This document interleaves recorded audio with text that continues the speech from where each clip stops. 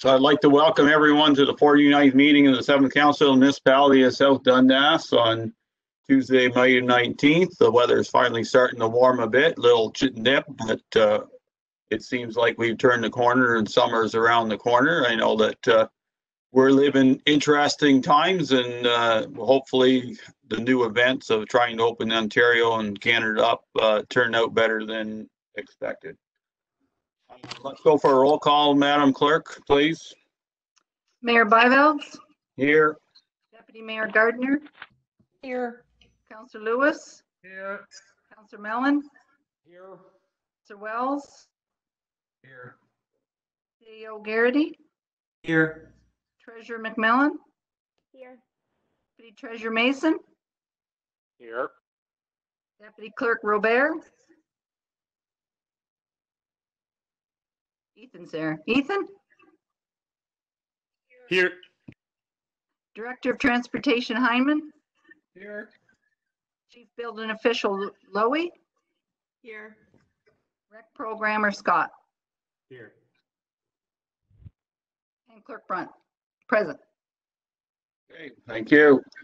So confirmation of agenda this evening. Um, I have asked to pull, uh, some items out of consent, which were C, F, and H. And I have them placed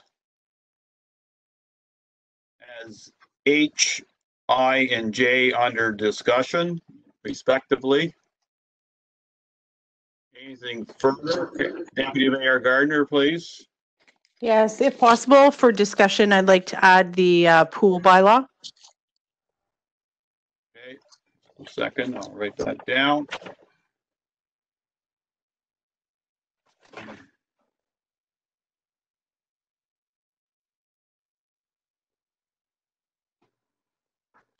Anything else?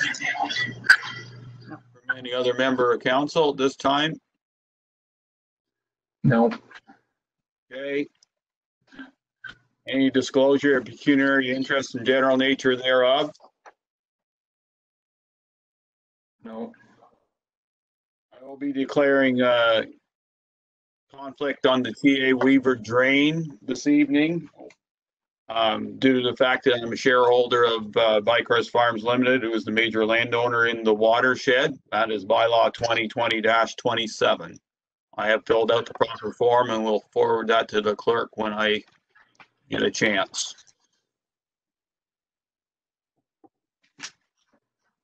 Okay, seeing no more, the adoption of minutes, please. So moved by Deputy Mayor Gardner.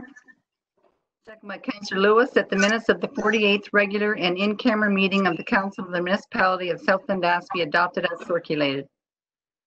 Any discussion, issues? Seeing none, I'll call the vote then, please. Mayor Byveld, Yes. Deputy Mayor Gardner, Yes, Councillor Lewis, Yes.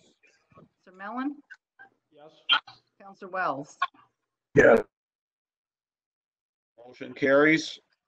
Move on, uh, we have no delegation petitions this evening again. We'll go down to action requests. The first one is RF twenty twenty 2 Iroquois Beach House cladding options. Moved by Councillor Mellon, second by Councillor Lewis that the Council of the Municipality of South Dundas accept report RF 2020-02 to award the cladding of the Iroquois Beach House to J and M Contracting Corporation with a price of $12,422.11 plus HST for metal siding.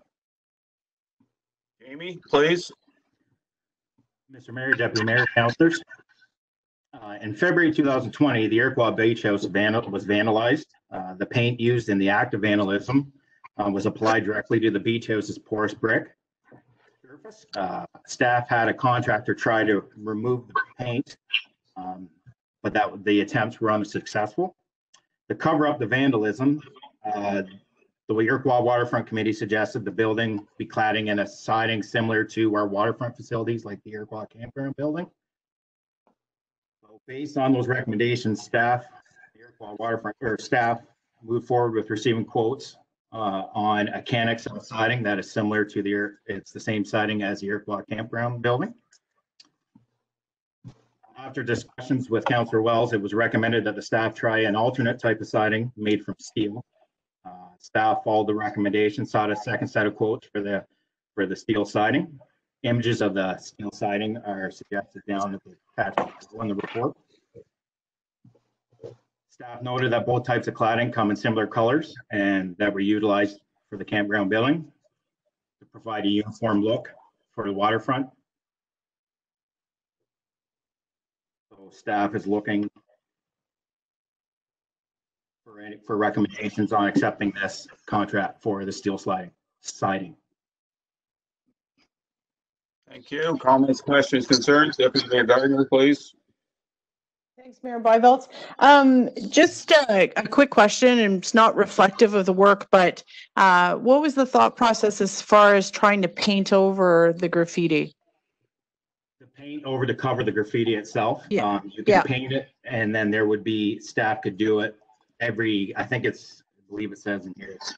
Uh, You could do it, it'd be an annual retouch, um, just to cover up the, the graffiti itself, just to repaint it. Uh, it- it- It'd be a lower cost. Okay. I see, I see that in the report and I, I understand making it, uh, functional as well as, uh, looking good down there. Um, I just, with the, uh, metal siding that's suggested, um, there's absolutely no paint that will stick to that? Uh, Paint would stick to that. Um, The only su- suggestion that we do with cladding is that it'll stop the rainfall from soaking into the brick. Um, It would stop all that so we don't get any more mold on the inside of the, uh, of the building itself. So that siding, that siding would protect that from that, from the, from the elements. Okay. Perfect. Thank you. Council Lewis, please. Just to touch on uh, what uh, Deputy Mayor Gardner said. The stone that is on uh, the uh, building there is a very soft stone. And uh, I know we had graffiti whenever I was there, and we had a guy come in with a Steam X machine, and it's headed to stone. So uh, I would recommend not painting and, and to go ahead with the clad siding. Uh, it'll Most likely save a lot of aggravation and a lot of headaches. Thank you. Councilman Allen, please. Uh, Thank you, Mayor Byvelds. Uh, no, I can go with this quote. Uh, in your report, uh, Jamie, you, would- the repainting was a ten to twelve thousand. Yes. That's, that's just too, well, it, it doesn't really matter because I don't think that's the way to go. Uh, I think we need to go with the, the metal cladding. um, for Twelve, four, twenty-two and eleven. Uh, I'm, uh, I'm good with it. Council Gaddis, please. Um, well, as likely as I said about the, the steel, um, the reason I, I, I'm gonna go with the steel, but, uh, Mayor Byville, do you want me to enlighten council about the reason I changed from siding or just, are we good? No, I, I think, I think, uh, Jamie has given us the his reason, so unless you want to, it's your call. No, no, I'm, uh, and the reason, uh, getting back to the, actually the beach house was a, like a split face block. And at the time, it was a bad batch of blocks that were, uh, produced. So over the years, as everyone knows, the mold and everything comes in, this will, that'll put an end to it. We can, uh, mold on the inside to And it's a lot easier to fix this if something ever goes wrong, uh, because it's a known place for uh, graffiti. So basically, you, you take a sheet off, uh, put a sheet on, or paint. Where the Canexel, being a dual, it's not just one color, it's a, a mixture of colors. If uh, anyone looks at the siding up at the campground building, so uh, definitely a good choice to go with the uh, ideal Canadiana, and that'll solve all the problems. Thank you. Okay, I, I do have Tho- Those who aren't speaking, please put your microphones on mute, please, because the background noise is bad. Thank you. Um, Jamie, a couple questions. Um, color of the, the siding, did you consult with, uh, any members of the waterfront committee on that? We received an, an email saying they would like to match the color of our facilities down there. Um, being the campground, being that type of color, I was matching it with that color of the Iroquois campground building.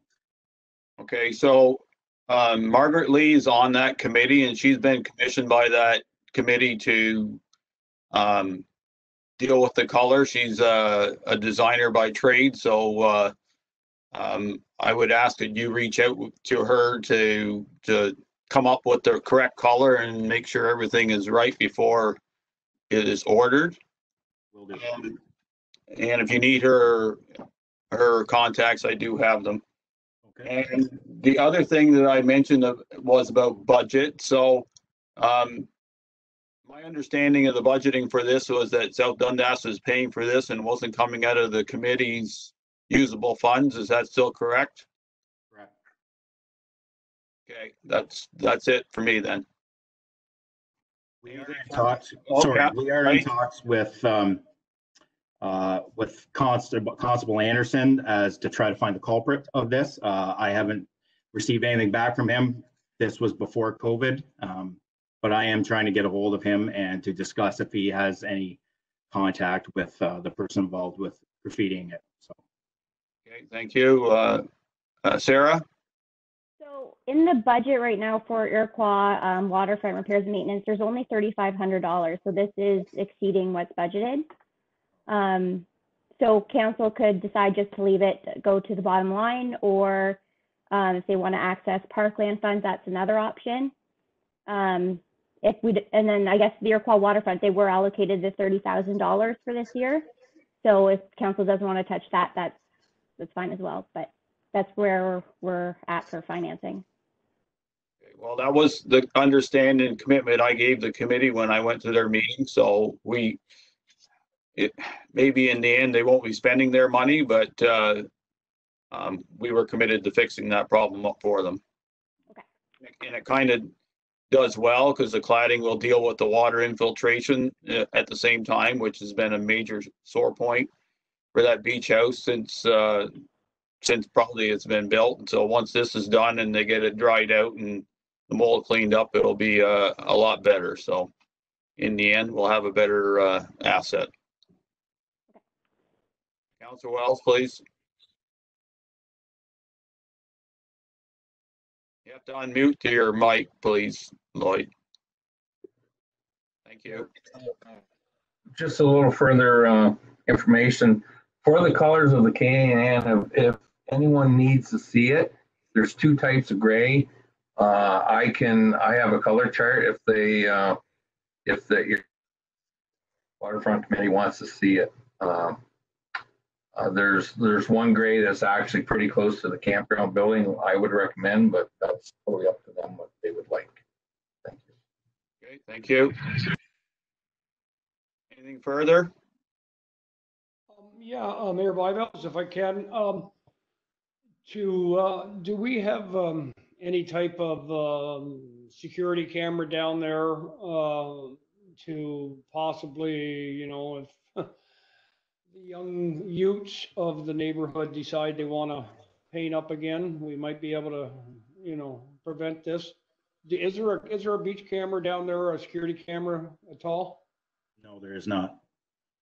There, Counselor Mellon, um, the chair of the committee, uh, Mr. Ross has been looking into it, so he, um, he may come up with a solution for that yet. Good. Okay, thank you, Mayor Byvelds. Anything else? If not, I'll call the vote, please. Mayor Byvelds, Yes, Deputy Mayor Gardner, Yes. Counselor Lewis, Yes. Counselor Mellon, Yes. Counselor Wells.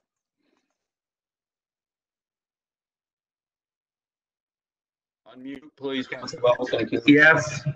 Sorry. Motion carries. Thank you. Next one is TS twenty twenty 4 the RTF number TS twenty 9 sidewalk replacement and repair.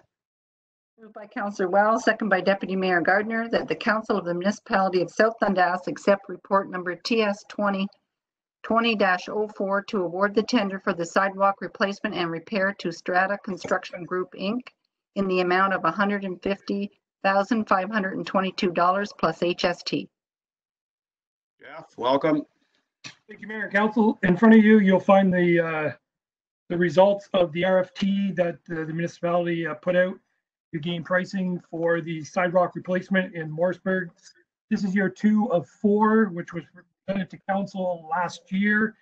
Uh, The streets identified this year will be Fifth Street from Ottawa, from uh, Ottawa Street to Laurier, and then from Laurier back to Pilot Way. Um, you'll note in my discussions that I have, or the municipality has not worked with Strata Construction Group in the past.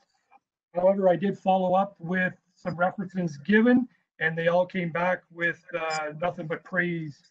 Uh, clean work site, always punctual, uh, attention to detail were some of the key issues, uh, or key points that were made when speaking with the two groups, uh, uh, companies I called. So I'm more now welcome to, answer questions at this time. Okay, thank you. Council Wells, any comments, questions, concerns? Uh, no, Mayor, Mayor Byvelds, I'm, I'm good. It's a good price and if uh, Jeff says the company's reliable, I'm, I'm good with that. Council Mellon, please. Uh, no, um, I'm, Jeff, just keeping oversight on them. Uh, I realize we haven't worked with them before and, uh, everybody's saying they're good, but anyways, no, carry on.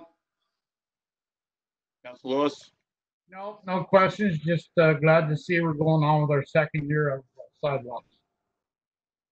Deputy Mayor Gardner. Thanks, Mayor Byvelds. Nope, no issues. Thanks, Jeff. Okay, if there's nothing further. I'll call for the vote, please. Mayor Byvelds, Yes. Yes. Counselor Lewis, Yes. Counselor Mellon, Yes, Counselor Wells. Yes. Motion carries. Thank you. Next one's TS twenty twenty 5 the RFQ number TS 20-14, asphalt hot box. Moved by Counselor Lewis, second by Counselor Mellon, that the Council of the Municipality of South Dundas accept report number TS 2020-05 to award the tender for the purchase of a two-ton trailer-mounted portable asphalt hot box to Marathon Equipment, Inc. in the amount of $37,145.50 plus HST. Jeff again, please. Thank you, Mayor and Council. In front of you, you'll find the results of the hot box.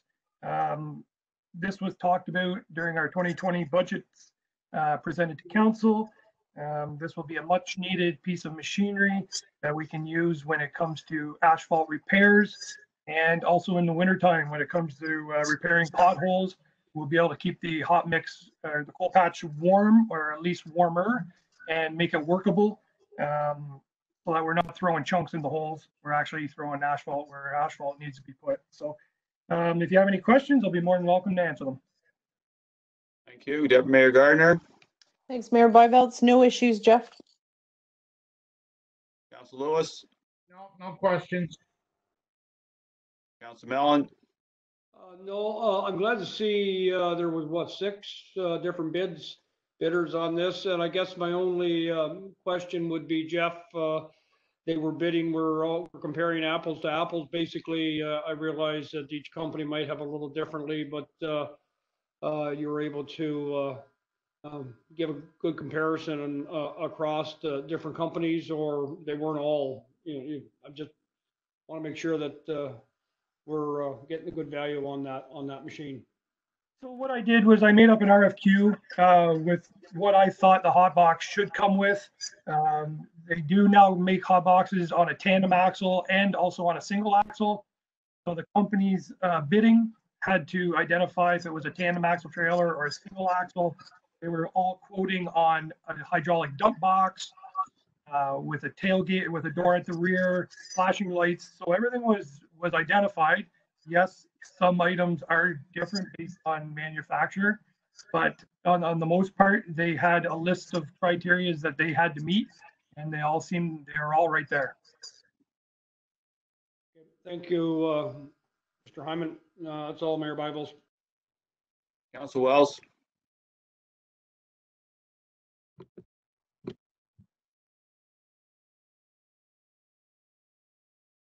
You're muted, Council Wells. Thank you.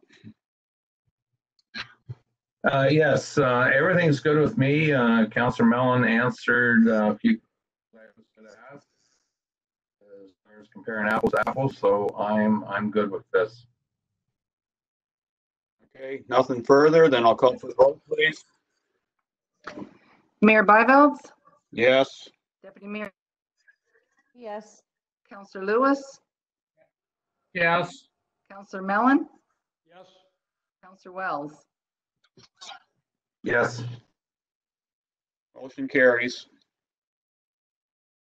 Next action request is TS twenty twenty 6 RFT number TS twenty eighteen, surface treatment.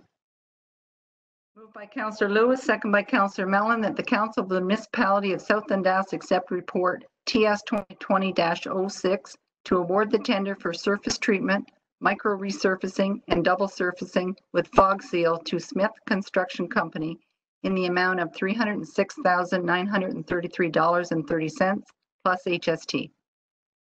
Jeff again, please. Thank you, Mayor and Council. In front of you, you'll find the results of the RFT, uh, which the municipality put out to gain pricing for surface treatment. This is a yearly uh, program which we run for our summer maintenance. Um, During the 2020 budget deliberations, uh, Dr. Miller, Siebert Road, Smale, Zirin were identified as roads that should be addressed. Um, While this RFT went out, I elite- I deleted Siebert from the equation and we added broken second into it as a provisional item. Reason being is it's a small stretch of road which is in the village of Iroquois, which allows residents of Iroquois to exit going west on Highway 2 if there was ever an accident at the roundabout. Uh, That is an ongoing concern, that small stretch of road, which is about 300 meters long, um, for pothole repairs and just regular maintenance. So we put it on the um, the RFT as a provisional to gain pricing, and the results of uh, the pricing can be found in the report. Staff recommends that we proceed with uh, Dr. Miller, Siebert, Zier- uh, Smale, or sorry, Dr. Miller, Smale, Zirin, and Broken Second as our 2020 surface treatment program. If there's any more questions, I'll be happy to answer them. Thank you. Council Wells? um, no, the price seems good. It's just, um, I guess if everything was out there, like, so on that little stretch, Jeff, um, on the broken second. So just bring me up to, uh, as far as the micro resurfacing that, are they gonna, are they gonna pulverize that, then redo it, or what goes on with that part where it's really bad? So that whole stretch, uh, Councillor Wells, uh, it will be pulverized.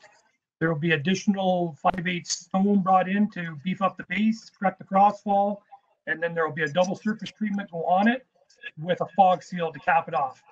So it'll be kind of the same process that we use to do Pigeon Island. It'll be the, the final same outcome. Because that seems like, like a really good price to do all those roads. Um, I read the report. I, I'm, I'm good with it. Thank you, Jeff. Councilor Mellon, please. Uh, yes, um, the roads we're doing, Jeff, uh, Smale, is that, will that be pulverized also? All the road, like the roads that we're gonna resurface, uh, Mike, uh, are they gonna be pulverized first? No, Smale, uh, is the only road that is gonna be microed. And it's gonna have a single lift of micro because that road is fairly good right now. We are gonna do some asphalt repair in front of the farm. Uh, where the heavy equipment turns, the milk trucks turn coming out of the driveway. But other than that, the rest of that roadway, uh, with some, some pothole repair by the municipal staff. And we feel it, it should maintain with just a micro, a single layer of micro, just to beef up the top. The whole- Any potholes that are there now or any dips in the road there now will be fixed before it's uh, micro. Is that what you're saying? And then uh, making, making compensations for, uh, at, uh, because, uh, like you say, at the farmer's gates, because they will tear that road up. It's, you've done it in another couple of locations and it's worked uh, very well, Jeff. So, uh, no, I haven't got a problem. Drive on, good price. Council Lewis, please. Jeff, I'm glad to see that you, uh, you got a price on the broken second. Uh, that little stretch is in, in real bad shape. It's almost like going uh, through a cow path. Uh, and I don't, uh, I think it deserves it more than uh, Siebert at this time. So, uh, good work and good pricing. Deputy Mayor Gardner, please. Thanks, Mayor Byvelds. I agree, Jeff, with everyone. I really like the fact that you included the broken second. I know that's uh, of uh, a lot of concern for uh, the folks in Iroquois, so thanks for that.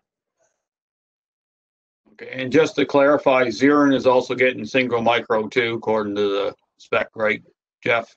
That is correct. We're gonna do the same thing, uh, Mayor Bygov. We're gonna do the little isolated, uh, pothole repairs. We're gonna double check the culverts, make sure they're in good shape, and then they'll be, uh, we'll have a single lift of micro applied. Okay. Sounds good. Micro's a good, uh, um, serves us well to lengthen the, um, the the length of how long those roads last, so. Anything else from anybody, member of council? Seeing none, I'll call the vote, please. Mayor Byvelds, Yes, Deputy Mayor Gardner, Yes. Counselor Lewis, Yes. Counselor Mellon, Counselor Wells. Yes. motion carries. Next report is TS twenty twenty 7 RFQ number TS twenty 15 6x4 diesel cab and chassis with roller pro system, plow and wing. Moved by Deputy Mayor Gardner, second by Counselor Lewis, that the Council of the Municipality of South Dundas accept report number TS 2020-07 to award the tender for the purchase of a 6x4 SBA diesel cab and chassis with roller pro system, plow and wing to Rush Truck Center in the amount of $303,739.04 plus HST, and the purchase of three roll-off bins in the amount of forty-three thousand four hundred and forty dollars plus HST. Yeah, please, So thank you, Mayor and Council. So in front of you, you'll find the, the results of the RFQ, which we, uh, which the municipality put out for pricing. During budget, 2020 budgets, um, a unit was identified, which is unit 60, to be replaced through our fleet replacement schedule. Um, At that time, uh, staff had identified purchasing a, a roll-off, or a truck with a roll-off system. It was then decided that we wait until the new environmental um, person comes on board, um, as they may or may not want that roller style system. Since our new uh, supervisor, director has come on board for environmental, we believe that this roll-off system will serve two purposes while helping both departments, the transportation department as well as the environmental services, moving the roll-off bins in the landfill to improve safety so that nobody has to go on top of the hill. Also, it will serve as a front line, front plow truck during our winter season and during snow clearing events. I'll be more happy to uh, answer questions at this time. thank you. I'm going to Deputy Mayor Gardner, please. Thanks, Mayor Byvelds. I think we had a pretty fulsome discussion about uh, this piece of ma- machinery, uh, and Danielle's in support of it, so uh, I'm okay with this as presented. Thank you. Council Lewis, please. Just a quick question, Jeff. The roll-off bins, that is a total of forty-three thousand four hundred and forty dollars for all three? That's not a single roll-off? No, the roll-offs come in at a price of fourteen thousand four hundred and eighty dollars plus tax per bin. So that is for the accumulate, the, the total of three bins. Good. No, I have, I have no problem with this. We had a, as Deputy Mayor Gardner said, we had a lengthy discussion on this and that's, uh, that's a good price. Thank you. Councilman Mellon, please. Well, Thank you. Um, as I, uh, as I read this and see this, we're about nine thousand and change short on, um, from what we have in the budget. Uh, what we had budgeted for this at three hundred thousand.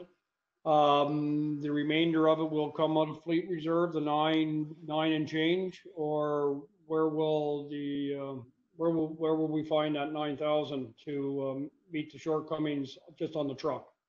It'll come out of fleet reserves. Okay, thank you. The next question is, uh, on the roll-off containers. That will be coming out of, will that be coming out of fleet or out of our landfill, um, operations or? That's, if it, where, I guess clarify first where that's gonna be coming from. I'll let Sarah answer that question, Councillor Mellan. You can answer that. The answer is there, but Who is it? I'm, uh, missing it then, Mayor Byvelds. Coming from our efficiency funding. Yeah. Sorry, Sarah, I didn't quite catch that. From where? Coming from our efficiency funding, the service modernization fund that we received. Oh, alrighty. Uh, all right, I missed that. Uh, I read it too quick. Uh, okay, thank you. Um, no other questions right now. Thank you. Councilor Wells, please. Uh, yeah, the, the price for the truck was good and everything, Jeff. Uh, I don't think we should actually purchase these three, uh, roll-off containers uh, right yet because till we know exactly what's gonna happen with the dump, um, I think we're jumping into it because if we're gonna transport recycle stuff for metal or anything, uh, I, I agree with the truck, which is replacing one plow truck. But I, I think we can put those three roll-offs off for a bit because, uh, I don't see a need for them personally myself, uh, right now, till we know exactly what's gonna go on with the dump. Like, are we gonna get expansion or anything like the, the stuff we've been going through with, uh, the well issue and all that stuff. So we could end up buying these and not even having a dump to use them anywhere. Uh, as far as the roll-off containers go for anything else, we have dump trucks uh, to move uh, stuff. Basically, it's just going to be used for the dump, is what I'm looking at. So I would actually put the containers on hold and uh, uh, see what happens after all the dump reports and water reports and everything comes back. Thank you. I see Danielle's on. Can you uh, respond to that, please, if you can? Can you, okay, there we go. I'm really close. Uh, yeah, so I understand your concerns, Councillor Wells. Um, you do, I understand that you want to wait to see what the landfill, uh, what happens with the landfill. Uh, my only suggestion would be is that if we decide not to move forward with the landfill, we would be looking at a transfer station method anyways. And normally a transfer station uses these type of roll-off bins. Um, so I would think we would be moving that way anyways. Um, but I'll leave that up to council to decide. But I would think that these would be a great asset moving forward because we have uh, plans for them to be included in our conversion programming. So using them for scrap metal, uh, for construction waste, and for some other items that we hope to uh, get out of the landfill. Um, and the more, of course, that we can divert from the landfill, the better that looks on our application for expansion at Matilda to the Ministry of Environment. So um, if you have any other questions, I, I can answer those. Councilor Wells? Yes, uh, everybody else. Uh, I understand where you're coming from, Danielle. Uh, as far as uh, diversion goes, the, the scrap part, I believe we're tied in on the contract uh, for all the, the scrap steel right now. Uh, I know everyone's shaking their head, but I thought it went out or wasn't awarded to anyone because it was awarded before. So, um, I, if it's good for uh, the Ministry of Environment to show them we have three containers sitting there for diversion and stuff, I, I guess I'm okay with it, but, uh, that forty-four thousand, whatever, nine hundred some, it's not gonna change, like, we can buy them at any time. So this will keep this under budget, then move on, like, in our application, we can put that we will purchase roll-off containers. I, I'm just trying to save the public some money, like, instead of buying this, because once you buy them, uh, even if they're not used, you go and sell them, it's about twenty percent less what you paid for them. It doesn't matter what you buy, so I, I'm still thinking as long as if we put in there saying that we're gonna purchase this, uh, I- I'm sure the Ministry of Environment for the expansion or transfer station or everything will still be good. So my choice would still just to let these go till we see the final reports on everything pertaining to the Matilda landfill site.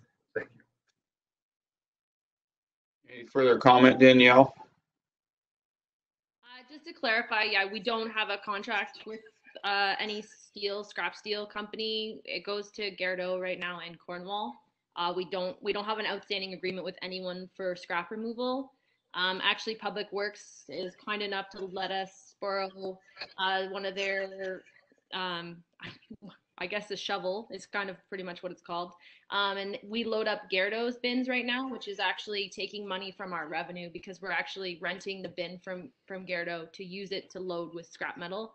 Um, so we're paying for that right now out of our revenue already. If we owned our own, we wouldn't have to do that. Um, but I understand, I understand your perspective, Councillor Wells. So uh, I just wanted to mention the thing about the scrap metal. That's all. Yes, Counselor Wells. And as far as the steel goes, uh, again, I understand where you- if we had our own, but we still have to truck it there. Um, where you just have containers come in, they fill or we fill or whatever, it's a lot less money that we don't have to worry about upkeep in the vehicle. Um, I'm good with roll-off truck. There's Not much price difference there, but these containers, I, I'm still leaning that we just wait because like even if someone brings in a container, like there's a lot of steel companies just bring it in, they give you a percentage of what the scrap steel is worth at the, at the present time. Uh, right now, the steel prices are very low. Uh, for us to actually load it and take it down, we probably lose money. So, and again, I'm just think if, uh, we wait a little bit on these, those, buy the truck, those containers, we can get them anytime, like, quick, so that's, I'm not going to uh, carry on anymore. Okay, so I, I have a few comments. Um, we had a real good discussion of budget, so I think um, that carries a lot of weight. Um, one thing, if we don't decide to do the roll-offs, then it doesn't make much sense to buy a roll-off truck. I think it's one big package and we do it right and do it once. Uh, my question to you, Jeff, is that, um, I don't see a salter on this. Is that just me missing it or is there no salt box? No, that was you missing it. It comes with a salt box. It- The, the dump box has the salter incorporated on it. It'll have a front uh, left corner spinner, the same style of uh, salt box that we use right now. And um, it, it won't hold the, the same amount. We're a few tons short versus a regular tandem truck. That still doesn't uh, affect the outcome or the, uh, the, uh, the product, the end product. So it does come with a, a salt box on it. Okay, fair enough. I didn't see, I didn't see anything to mention of a salt box. I know we discussed it, but, uh, I wanna, wanna make sure that it was there. It didn't make any sense not to have that either. So, any further comments, questions from council? Seeing none, I'll call for the vote, please. Mayor Byveld, Yes, Deputy Mayor Gardner, Yes. Councillor Lewis, Yes. Councillor Mellan, Yes. Councillor Wells. No, motion carries. Next report, GS twenty twenty 8 installation of streetlights in Mariatown. Moved by Councillor Wells, second by Deputy Mayor Gardner, that the Council of the Municipality of South Dundas accept report number TS 2020-08 to not install an additional streetlight on Julia Street in Mariatown.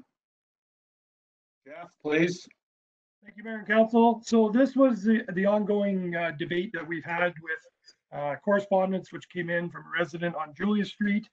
Um, Your findings on this report will describe the area in Mariatown that we're referring to off of the, the map which I presented.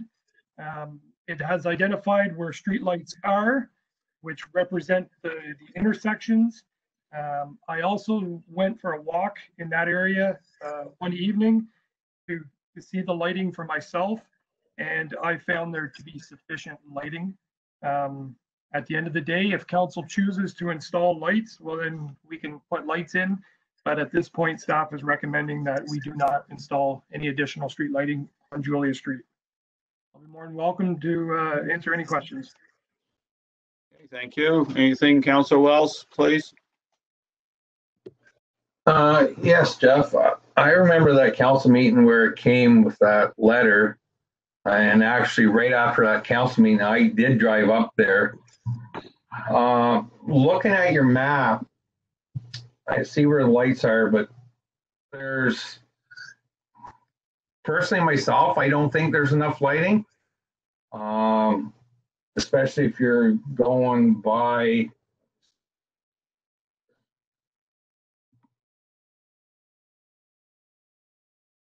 sure on the street here. Okay, so you're going up Mill Street, Mill Street goes around, so I'm just, I'm gonna use the residents there, like Rex Wager lives at the far corner. And, uh, all these yellow dots, there's lights there now, but in between, um, myself, especially going up Mill Street, I found it pretty dark myself. But, um, I don't know if these lights can be changed to, uh, I'm not, I'm sure they're not LED, I don't think. Yes, they are. They're all LED. Then they're, they're poor LED as far as I'm concerned.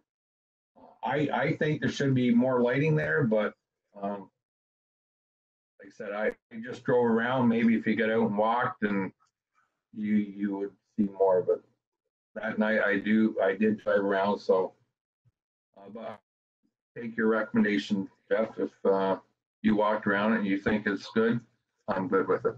Thank you. Counselor Allen, please. Uh, Yeah, I, I'm going to, uh, agree with, uh, the recommendation. Um, I'm sure there's dark spots, or lit spots all over our hamlets and our, uh, towns and whatnot. Um, but, um, you know, I did get some feedback from an individual that I know in that area and they didn't think it was too bad. I guess it's all on one's perspective. Somebody would think that it's sufficient. The next one would think it's, uh, it's not. Um, you know, you could get into a situation where we're gonna light her up like a Christmas tree. Uh, but, uh, I, I, I think it's sufficient and, uh, I agree not to put any more in there. Council Lewis, please.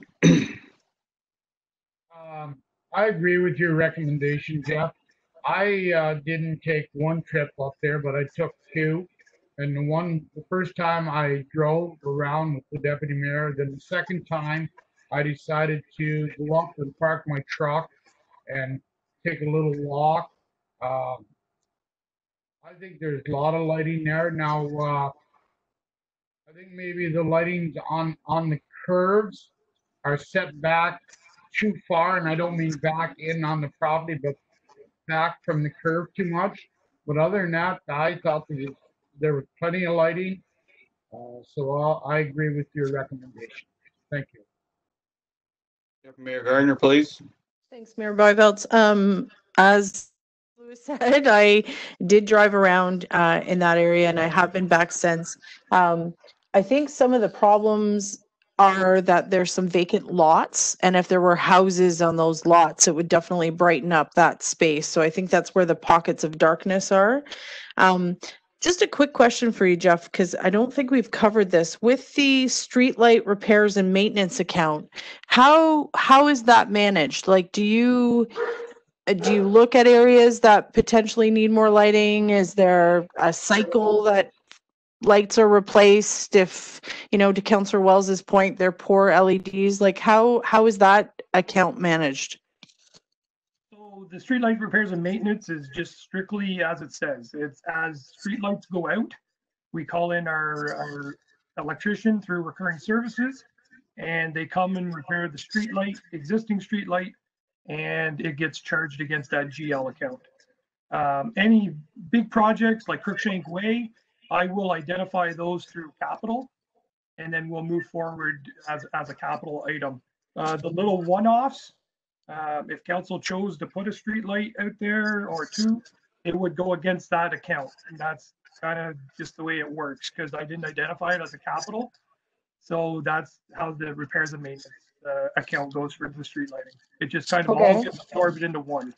Okay, and just a quick question, and I, as if you don't know off the top of your head, but the lights that are there now, are they an older version? Are they the part of the ones that have been updated? Like maybe it's a case of not putting more lights, but when those are due to be replaced, maybe putting better, stronger lights? Those lights, and I, and I might speak off turn here, and maybe Shannon can help me with this. When they did the rehab for Iroquois and Morrisburg to bring everything up to LED lights, the town of Mariatown, or the, the little hamlet of Mariatown was done at the same time. So they're the same street lights that you'll see in Morrisburg and that you'll see in Iroquois. So they're all the exact same. Okay, okay. Thank you. Okay. Any further comments? Seeing none, I'll call the vote, please. Mayor Byveld, Yes. Deputy Mayor Gardner, Yes. Counselor Lewis, Yes. Counselor Mellan, Yes. Counselor Wells. Yes. Motion carries. So we're gonna move into bylaws. I will step aside for the first bylaw and Deputy Mayor Gardner can go ahead. Okay. Uh, Okay, we've got it here. Uh, so, uh, Sean, can you please speak to this? Deputy Mayor, may I, may I read the motion? Yes, you can. So it's moved by Counselor Mellan, second by Counselor Wells, that bylaw number 2020-27 being a bylaw to assess the maintenance costs of the TA Weaver municipal drain be read and passed in open council, signed and sealed. Thanks, Madam Clerk. Okay, Sean, can you please speak to this? Thank you, Madam Deputy Mayor. Uh, Yes, this is a bylaw to assess out the maintenance costs that were uh, performed on the uh, TA Weaver Municipal Drain in 2012. Uh, That drain was, was maintained in, in two phases, and this was the phase, the second phase. Unfortunately, for whatever circumstances at the time, the, uh, the grant was not applied for.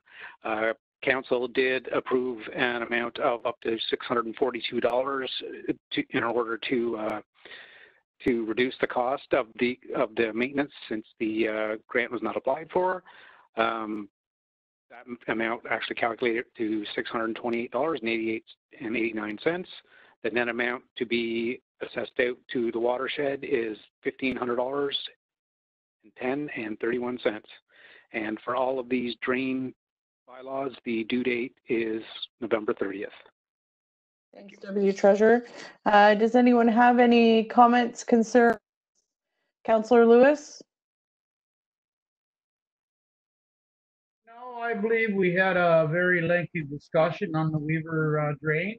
And uh, I said that uh, the, uh, the landowners shouldn't, uh, shouldn't come up with that money. I don't know if it was our mistake or whose mistake it was, but I think it's our responsibility to pay for it.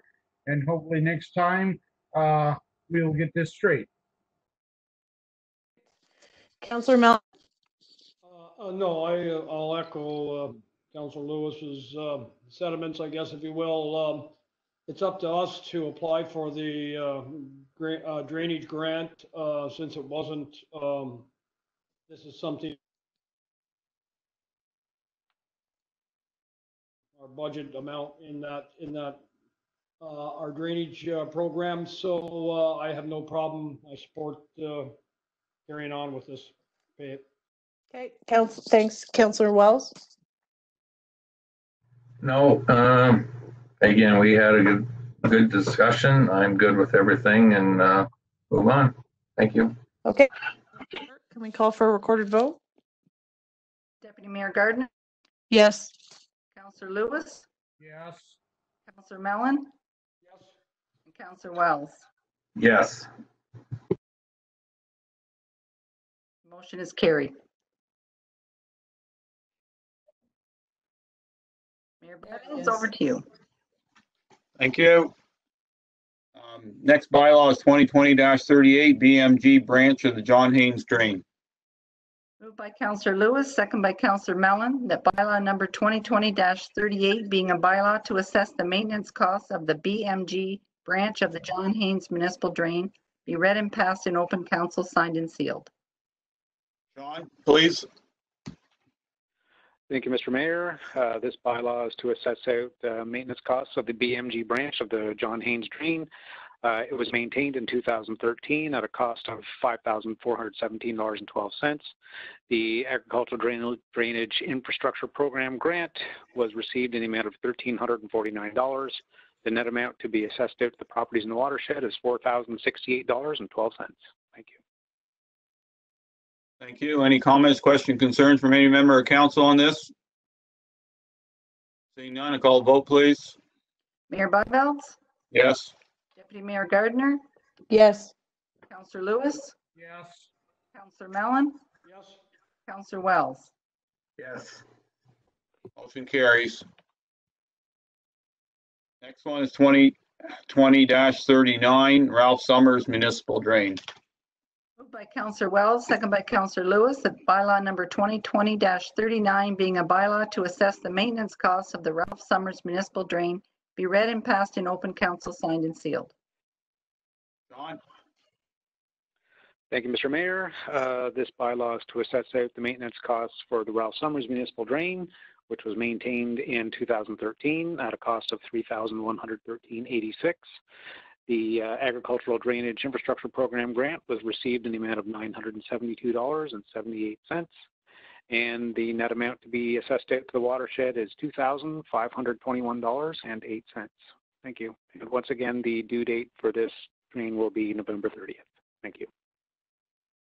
And just to correct you, Sean, it's five hundred ninety-two dollars, not nine hundred ninety-two dollars.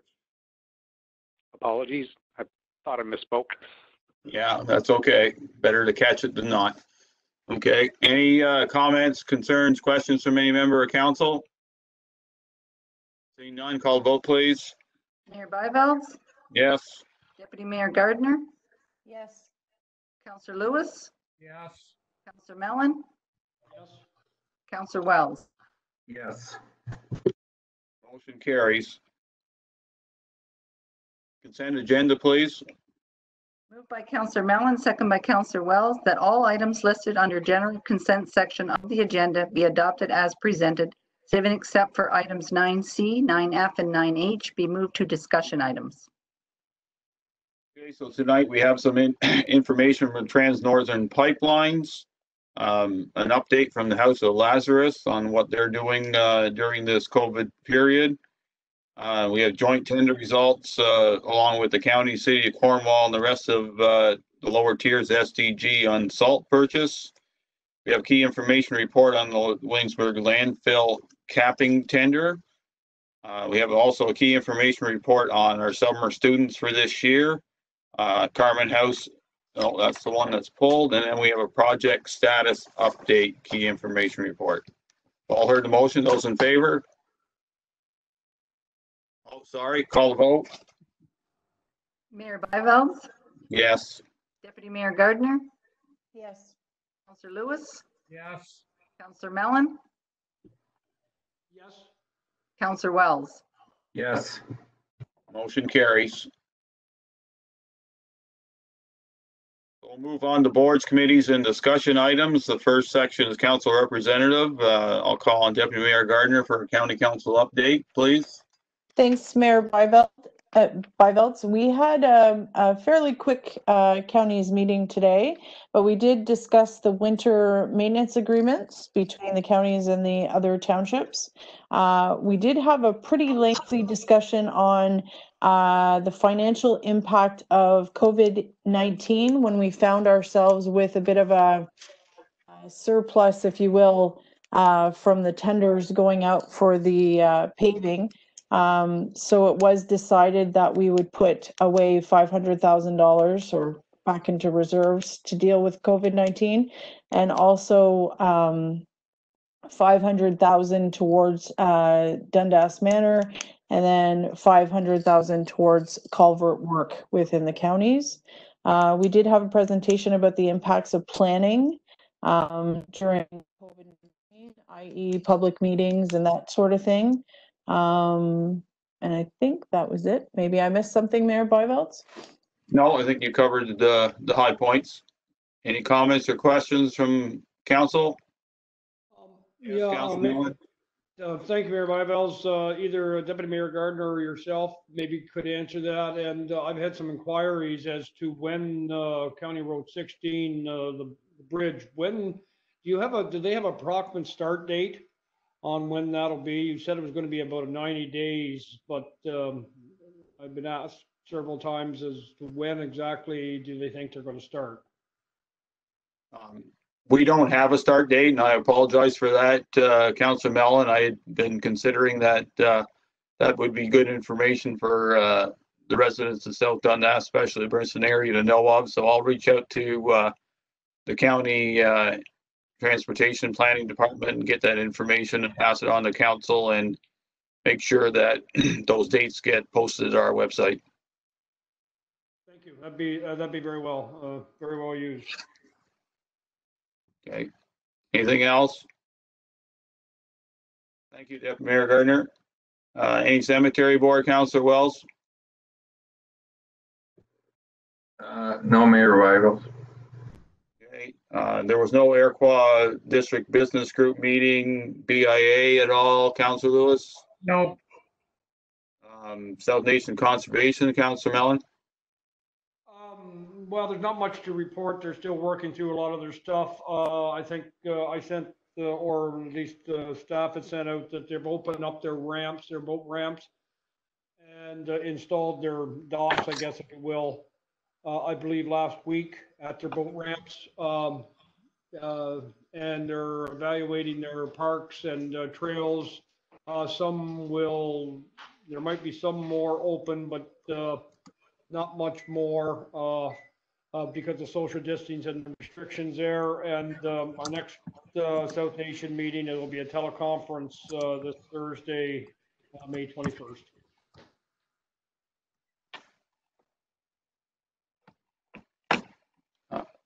Just a second, I was multitasking there.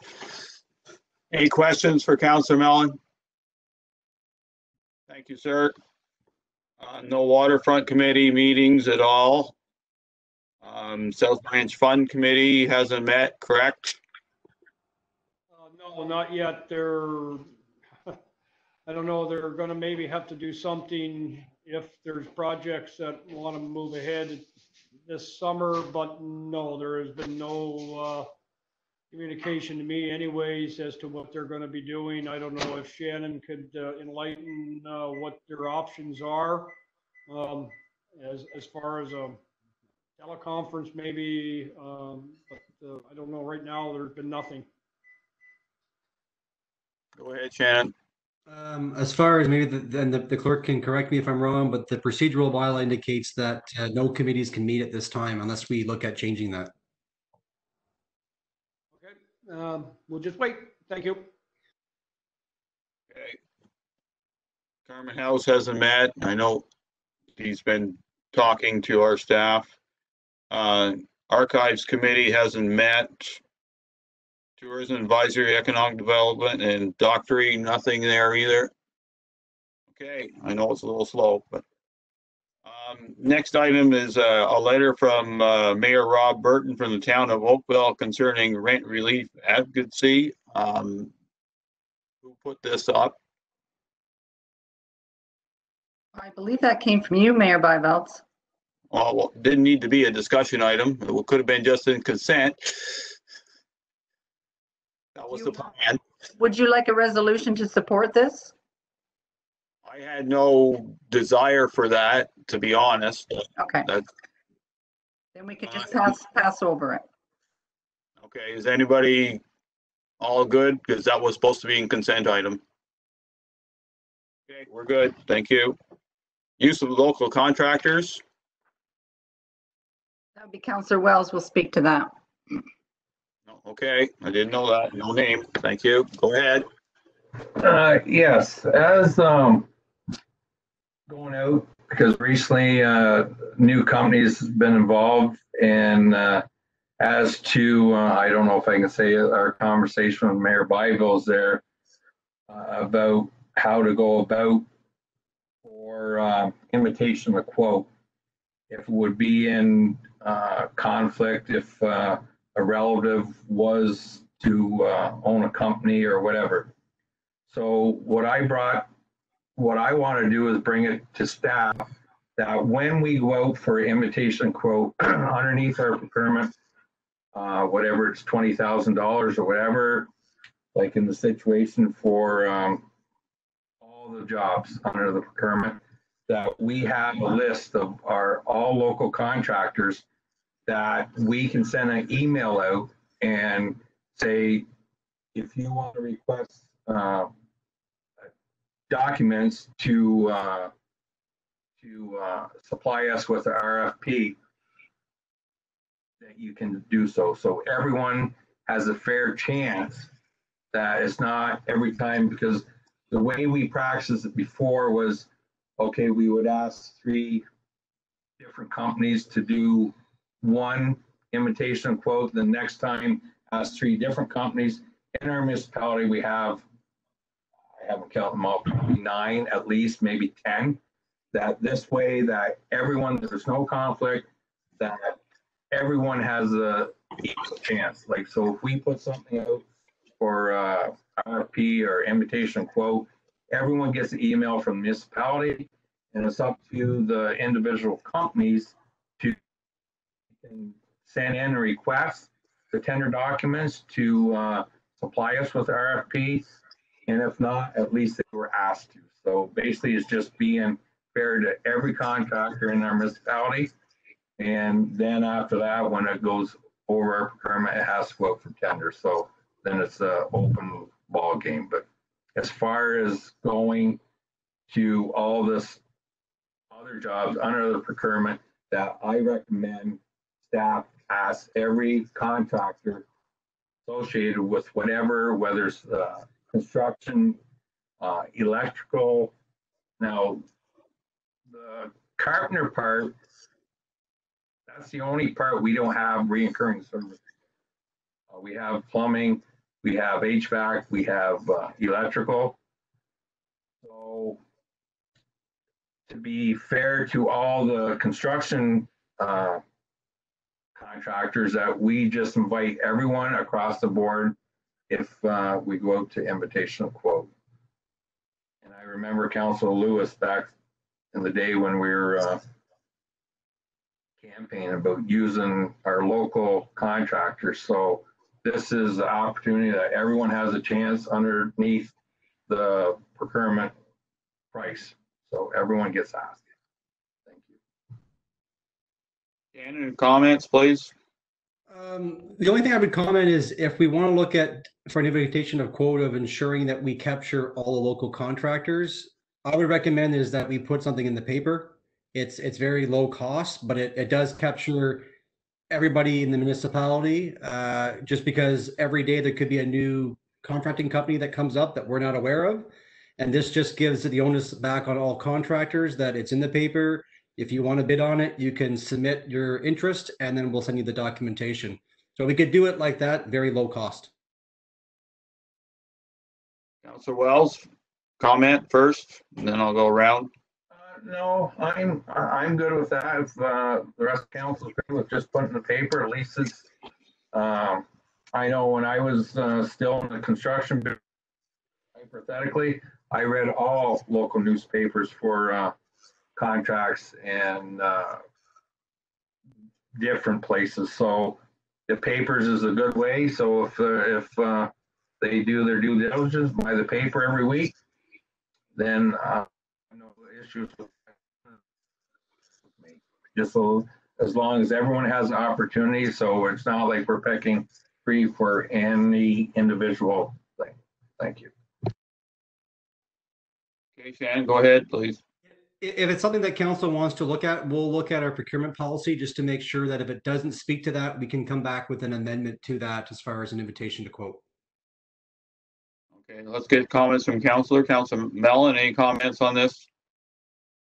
Yeah, I, I can see where Counselor uh, Wells is coming from, and uh, I think we need to, uh, uh, as Shannon has uh, alluded to, uh, put this out on uh, our website and in local papers, um, maybe more than once a year. I don't know how often, uh, because yeah, I, I have heard of uh, somebody that uh, might have bid on a, on a on a job that we did on one of our facilities, but oh, they didn't know about it. Well, uh, I think staff could probably very easily overlook um, you know, a company out there that they may not know about, whatever. So uh, if we advertise it, you know, and ask them to at least contact us and uh, get their name on that list, so that when we come around to doing uh, procurement uh, on a certain project, whatever it might be, carpentry, plumbing, whatever it might be, uh, there's a list, and uh, that list is updated on an annual basis or on you know maybe semi-annually basis, or if somebody asks, you know, adds their name into the list, it, you know if they miss it the first time around. But yeah, it's not a bad idea. And again? So just for clarification for Councillor Mellan, so as far as the recurring services, recurring services go and they're usually good for every two years, but they do go in the local papers. So it is available to anybody that wants to bid on, on certain uh, items such as electrical, plumbing, HVAC, all that stuff. So it is put in our local papers though. Could we do something similar to this, um, I guess, on an- an annual basis for, uh, this, to this point that uh, Councilor Wells has, uh, brought up? So that we have a, a, an ongoing list for the contractors that might be, uh, interested in or able to bid on jobs? Correct me if I'm wrong, Councillor Wells, it's, it's more for the invitation or quotes for small projects that are under thousand dollars that don't require us to go out for tender. We would put it in the paper and look for quotes from local contractors. So it'll be a per pro, per project uh, tender. Yeah, yes, Shannon, you're, uh, you're correct. It's just, uh, like, I like the idea about the, the paper.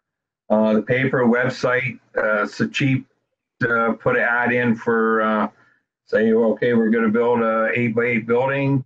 Any interest parties, they can, uh, call and get the documents sent to them and they can, uh, uh, supply us with the RFP, the, the quote and stuff. Uh, as far as our procurement, like, any director can go out, I think is twenty thousand. We did their last time when we increased it. So anything over and above that, has to go up for tender, but just so everyone's the easiest way, instead of even emailing everyone, it goes in the paper and there you go. Uh, it's basically it's the invitation to everyone. If you want to, uh, participate in this, uh, uh, project, you, uh, you send us an email and we send you the documents, so you're, if there's any addendums or anything related to this, that's the idea of having that come back to us, so if there is any addendums, that we have a list of all the people instead of us calling everyone, uh, saying, okay, there's a addendum. This way, they ask for the, the documents, and if there's addendum, we can send it to them and it's fair for everyone. So at the end of the day, all I was trying to do is just make it fair that we're not, as far as invitation quote, ask three different, three different, three different ones on the next project. It's straight across the board. Everyone has the same, uh, fighting chance to get the, the smaller jobs in the municipality. So I would, I would take Shannon's recommendation about just putting in the paper and the website. And then there'd be no talk in behind saying, well, I never had a chance. Well, it was in the paper, you had a chance. So that's basically what I wanted to do here tonight. Thank you. You understand that, Counselor Mellan? So every quote will go out instead of getting a list.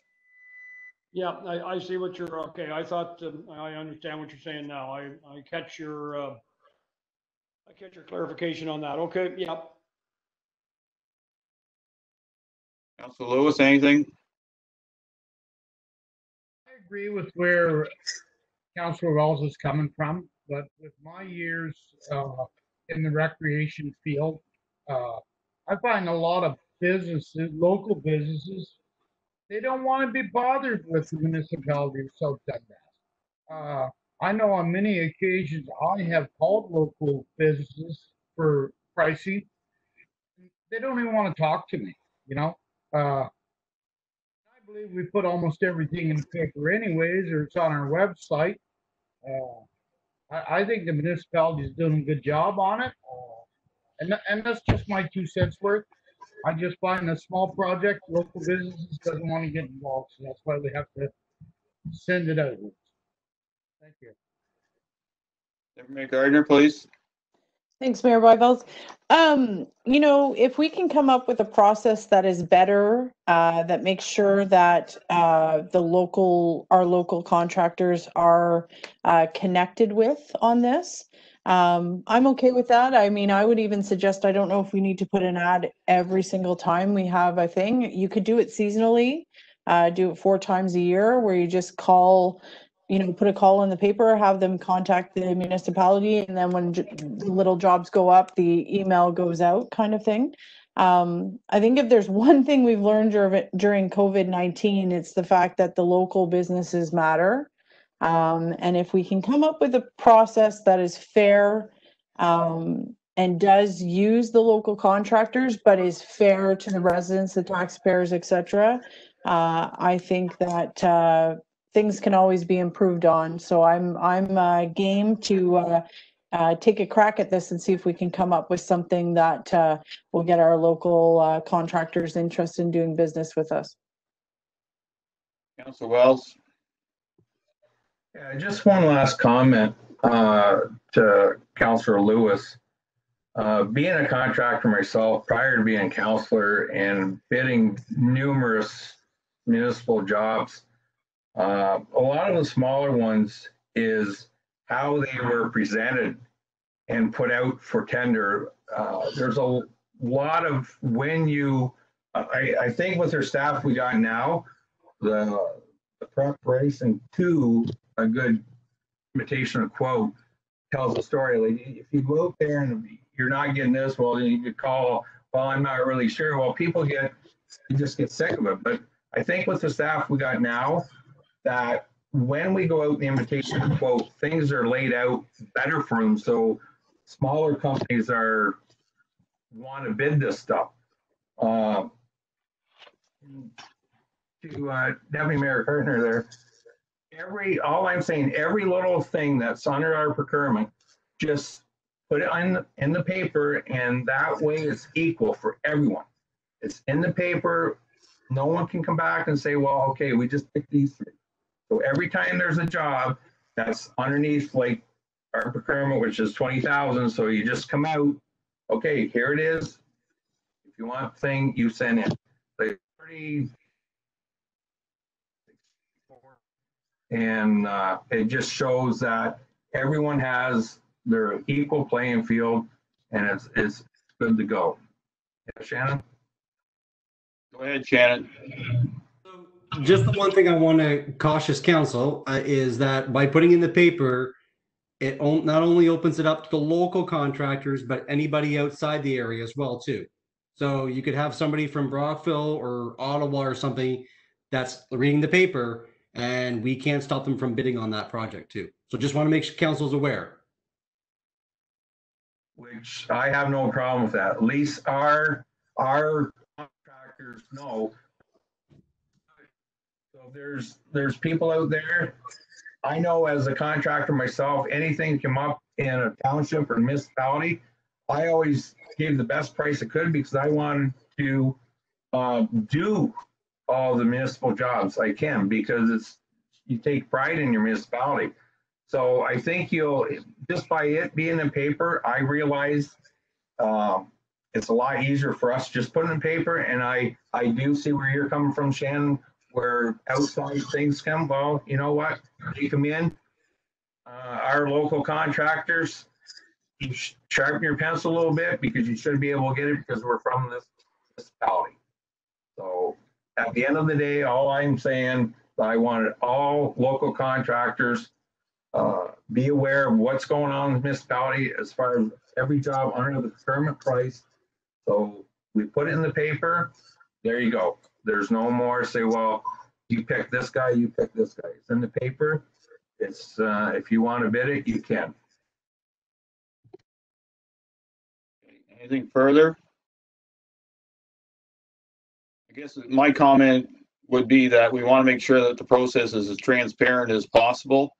Uh, Shannon does bring up the point that, you know, as much as we prefer local in, in our hearts, in the end, the price is going to win as long as the job is done right. And we want to be, we really need to pay attention to make sure the jobs are always done right. I think, you know, there, the moral hazard might be that there's going to be one person that's going to land up being low one all the time and it might discourage everybody else, but it is competition. We'll see where it all ends up in the end. So, okay, good enough. We'll see how it goes. Thank you. We have a key information report on the financial impact of COVID-19. Who's going to speak to that? Sarah, go ahead. Thank you, Mayor and Council. So this report is to provide an update to Council on the ongoing financial implications associated with COVID-19. Um, I asked each department head to review their budgets and provide a financial update on the impact to their department. So any savings realized, any lost revenues, et cetera. Um, so this report just summarizes the provided information. Um, it's not perfect, but I think it's a good starting point. And there's still a lot of unknowns at this point, and the situation with COVID-19 is still evolving. So my plan is to update this report on a monthly basis for council as more information is known. And if council has any suggestions as to any additional information they'd like to see, then I'm open to any suggestions. Thank you. Any comments, questions, concern? Deputy Mayor Gardner? Thanks, Mayor Byveld. Um, no, the only uh, question I have is uh, with um, our shutdown. I think it's probably more for Shannon, uh, Sarah. Sorry, uh, we have not had, we have not been incurring any overtime with our staff, right, Shannon, during COVID nineteen. Okay, perfect. Thank you. Anything, Council Lewis? No, no questions. Council Mellan? Just a comment, uh, I'm glad we're tracking this. This is, I think, a good, good exercise for us to track it and see where our expenses and our revenue is, is headed and going, and it's, um, you know, just to keep a good handle on it. That's, um, that's all. Council Wells, anything? Uh, no, I'm, I'm, the im- report looks good to me. Uh, thanks, Sarah. Okay, and I'll concur that, you know, it's a good to get this report on a periodic basis. I know the, the numbers look, uh, um, actually good right now, but we're a long way from done, so let's not count our chickens and eggs till they all hatch. So, good, thank you very much. Um, next, um, item in the agenda is a letter from, uh, a- business I think it is, yeah, it's a business in Iroquois that had a, a water leaking issue and was, uh, billed for all the water that had, uh, leaked out of their, um, system. Um, he did send this letter to me and I, and I told him that I couldn't make a decision on that. That would be a council decision. So first I'll, I'll call on whoever staff would like to comment on this first and explain our policy and what we've done in the past to council, and then we'll make a decision on that. So Sarah, go ahead. Thank you again, Mayor and Council. So, um, like Mr. Byveld alluded to, um, this, uh, property owner, uh, they were gone for the winter and the pipes froze, so there was a lot of running water through that business unit. So typically, um, what we do is we, we don't waive any of the extra water because it is treated water that has flown through their meter. Um, we give them a, a payment plan option that they can work towards, and generally we waive the interest on that excess water usage. And historically, in the past, what have we uh, done for the majority of um, these issues? Or Shannon can just speak to it, because I know we do have policies and stuff like that, so go ahead.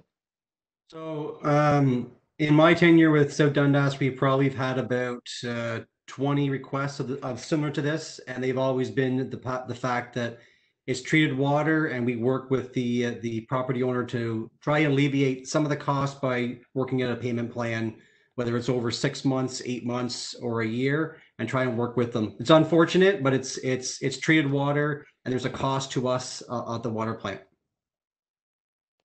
Okay, Thank you. So we'll go around the table, uh, yes or no, Counselor Wells? Uh, no, uh, I've been in the situation too. Um, unfortunately, my, a year ago, I had a water bill that was like ten times more than it should have been, just because, uh, one of my units, uh, rental units, the, the toilet stuck on. It happens. It's unfortunately like, uh, if it's a frozen line, uh, precautions should have been taken before he left the country. It's, uh, I, I can see where he's coming from. I'm happy with the way we do it. Uh, help with uh, making payments, but like it's mentioned, it's treated water, it costs municipality. Uh, to get that treated water there is unfortunately, it's not our problem or our fault that his line broke. So, uh, his part in his father's law funeral, but and again, like, uh, it, my heart goes out to him. uh, Stuff happens, but bills have to be paid, so uh, the charge remains on my part. Thank you. Counselor Mellan? Uh, yeah, I, um, I agree. Um, I mean, it's unfortunate for this individual, but the individual has to take some of the responsibility. The fact that, uh, uh, he had nobody checking on the property over the winter or whatever length of time that he was gone away and, and this happens with, um, you know, if I have a water pipe break in my house, I'm gonna have a mess. I make sure somebody's, uh, checking on my property. Uh, um, you know, we, we, I've seen these cases brought up or similar situations brought up to council in the past. And, um, I, I agree with the way we handle it. We try and work the payment plan out with them and, uh, it's, uh, the onus has to be somewhat on the owner to make sure that their property is well protected while they're away. Counselor Lewis? Excuse me, I agree with my colleagues. Uh, I don't know how long this individual is gone, but, uh, it sounds like there was no heat in, uh, in, uh, on the premises, and, uh, maybe he should have had somebody check on that. Uh, It's treated water. We treat everybody the same. It's a, it's a policy that I think is very, uh, very outstanding policy. So I, I agree with my colleagues on this. Mayor Gardner, you, you on?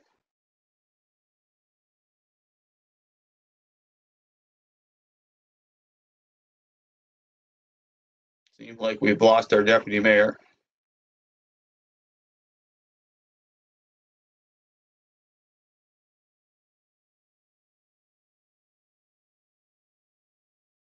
There she's back.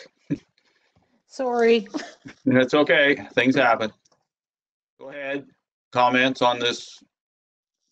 No, I, uh, I lost a portion, but, um, no, I mean, it sounds like we have a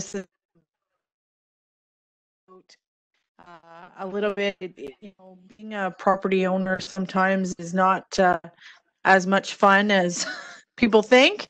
Um, and unfortunately, frozen pipes in winter, uh, if you don't have someone check in is going to happen. So I'm I'm comfortable with what we uh, currently do to support uh, people that find themselves in a bit of a jam.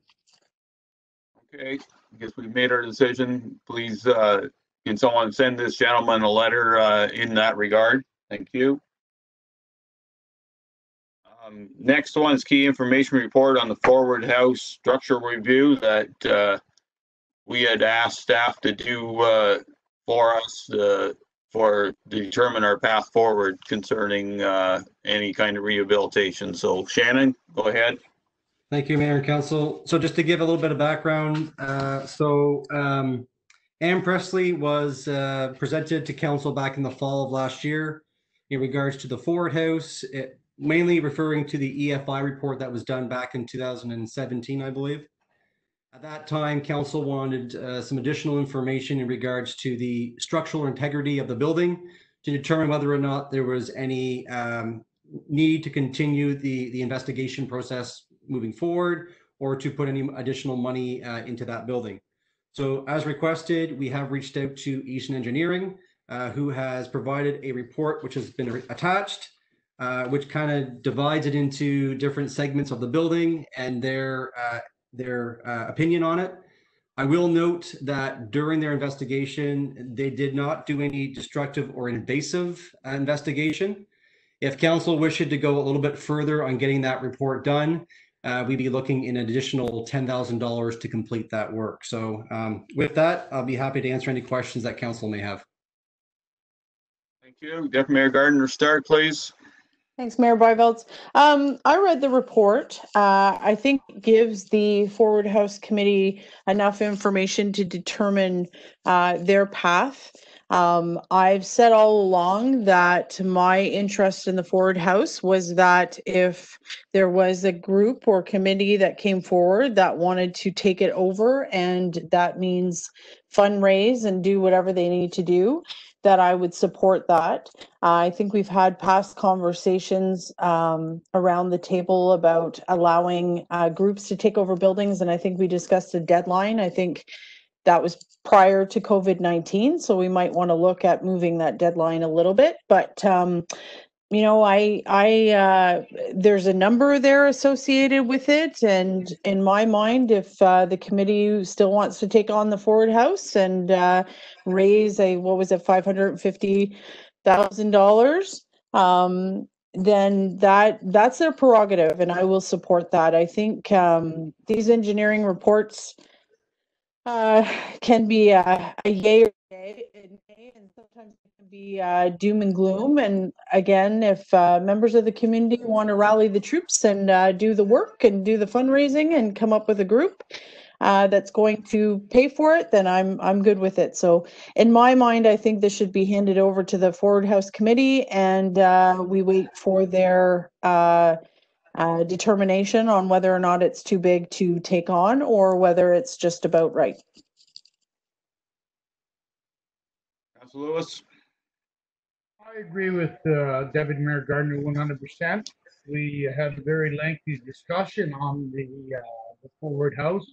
And at the end of that discussion, I, if everybody remembers, I said if the committee wants to do the fundraising to, uh, to get the money, that's fine. I will support it, but I will not support spending taxpayers' money on That's where I still stand.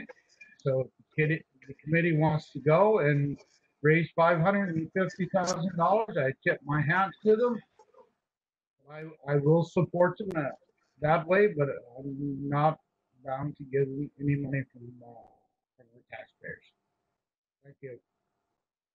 Council Mellan, please. Uh, Yes, I mean, this report, I guess, is somewhat, well, I didn't pull out the report from 17 that was done, but it, but I'm mirrors what um, that report was saying, that, you know, the building needs a lot, a lot of work. Uh, In this report, they- don't even touch, and they have alluded to the fact that they didn't get into the second story, so, uh, you know, the- somebody's gonna say, well, the 550, you know, is probably a high number. Yeah, it's probably a- at the best a Class D estimate. Uh, I'm going to say that if you get into the meat and bones of that structure, that, that might be a low number. Um, I'm not in favor of, uh, putting another ten thousand into a more, uh, detailed, um, uh, evaluation, you know, of, uh, an engineer's report and whatnot. I think we've done, uh, what we need to do. Um, I think the ball's in, uh, in their hands to take this report. Um, they, you know, they may agree or may not agree with it, on the, on the, the total outcome of the cost of it, whatnot. But I mean, in the end run, the building is still our building, so it has to be brought up to a certain standard, a certain building code standard, et cetera, et cetera. Uh, so it has to be, uh, done, it can't be done, you know, like as if it was your own home and you could work at it slowly and live in it. It has to be brought to a, a very high standard because it is a public use building or would be a public use building. So, um, turn the report over to them, but, um, and, uh, let to see where they want to go, uh, if they're fundraising, if they think that's, uh, within their grasp, and if they want to do the extra ten thousand for the extra engineering to get a, a real firm cost, uh, for this building, then, um, uh, more power to them. I think we need to put a, as Deputy Mayor Gardner has alluded to, uh, you know, a, certain time frame on them, um, but with the COVID-19, I think we have to be a little bit flexible. Um, I mean, we can't keep dragging this, uh, out, uh, too much longer. Uh, we'll see where they go with this and, and what kind of, uh, you know, they're, they're gonna have to come up with a good chunk of money before they start this project. There's no sense starting it on a shoestring. They're gonna have to have, uh, you know, a good chunk of money, uh, I think, in my opinion, uh, upfront to, uh, to get the project underway, but, uh, uh, I think we need to have a, somewhat of a timeline from them as to, uh, when, uh, when, when they're gonna be, uh, moving for, moving forward in a productive manner. Council Wells? Uh, yeah, I've, I read the report. Uh, I agree with all my colleagues as far as, uh, what was said. Uh, honestly, my opinion as being in the business, uh, Eastern Engineering is being, uh, I, I'm sure it would cost more. The contingency would definitely be used. Um, to Councillor Mellan, they're on, uh, four point one recommendations. It did include the second floor for a reconstruction of fifteen thousand. But the whole building, like we're, we're going on like, uh, not wasting tax, and if the committee wanted to go through with this, like, we're talking unless a big donor comes in, like, in reality, to raise five hundred and fifteen thousand dollars. Uh, by the time they did, the building hypothetically could fall down. Uh, there's going by the, the all the pictures I've seen. Um, there's just one. Sometimes it's whether like the heritage about the building that it comes to a point. There's been a lot of buildings. Uh, you can't save every building. Um, this here, uh, again, I would agree with my colleagues. Uh, first of all, we can't afford to spend this money on this building. Um, it's unfortunate things like this happens, but we got to move on. And kudos out to them if if they can come up with a plan. And again, going to uh, Councillor Mellan's uh, about a time frame, like we can't let this building just keep sitting there and sitting there because at the point it's just uh, could it fall down? Probably not, but uh, it's just it's our building, and so we have to put a time frame on it. And if, if you think you can come up with it, show us that you can. I I'd be more than happy to support it. Might even help out a bit. But as far as uh, taxpayers' money, uh, no, I I could never bring myself to uh, uh, spend that much money on a building that if you look at the recommendations, uh, four point one, it states right here, it's, they're recommending it's not even economical feasible to do it, so I just, if, if they want to continue, um, I would like to ask Shannon the question, because I think we talked about, um, all like Matilda uh, building back there in Brinston, that we're, we offered five thousand dollars to engineer each, that if a committee wanted to see, we put our five thousand in. So my question to you, Shannon, how much did this report cost us from Eastern Engineering? This report here costs us, it cost us about eighteen hundred dollars. Okay, so very, very good price, a very good report from uh, Eastern Engineering too. Um, So as far as the additional ten thousand, Uh, I would put that back on the forward committee. Uh, I would say if, if they can, but there's, there's definitely gotta be a time frame, And unfortunately, it comes to tough decisions and it's our job to make them. So if they can't come up with, uh, a plan to, uh, get this building, obviously we know where it's all gonna go here. So, uh, that's about all I have to say. Thank you. Shannon? I believe, and maybe uh, the clerk can tell me if I'm wrong, I believe the committee was given till the end of this year to come up with a plan and how they would finance, uh, whether it's a renovation or whatever of this building. Am I right on that, Brenda? Yes, that's correct. Okay, so, um, I believe I brought the idea forward that we get this structural engineering report done. I know Council Wells is behind it too. Um, whether it's unfortunate or not, it just proved that the first one was, was more accurate than most people had given it credit for. Um, this was maybe a bare bones report, but, uh, um, I see a lot of holes that this thing can go from five hundred and fifteen way up to seven fifty, uh, or something even scarier, so, um, you know, we can give it back to the committee. I think they need to be very realistic at what they're looking at. Um, they have two engineers report that say this building is done. Uh, I will give them kudos if they think they can come up with a plan to, to resurrect it. Um, in the end, uh, I do agree with council that it's not gonna be our money that's spent on this old building. It'll be theirs.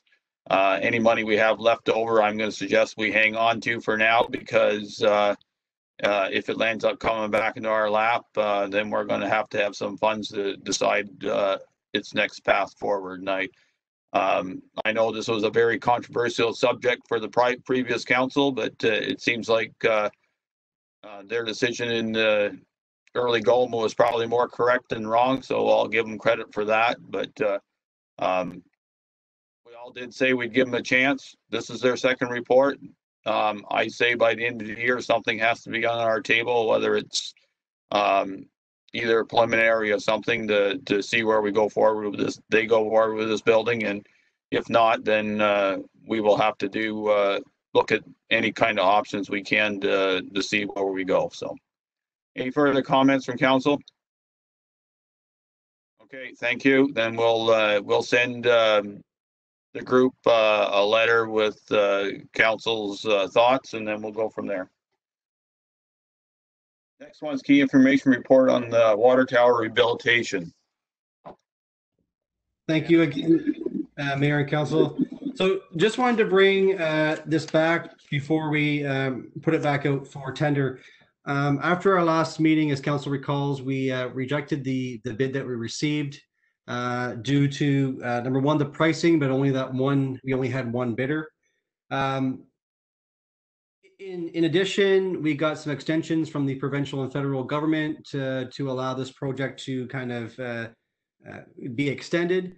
So in that case, I had a discussion with Baracco, who did the welding inspection report, to look at whether or not doing the steel work on both towers was the best use of our funds, or if it was identified in, in his report, if we should look at something else. So in discussions with him, it was identified and in the welding uh, inspection report um, that stage one of the Iroquois Tower was the most pressing.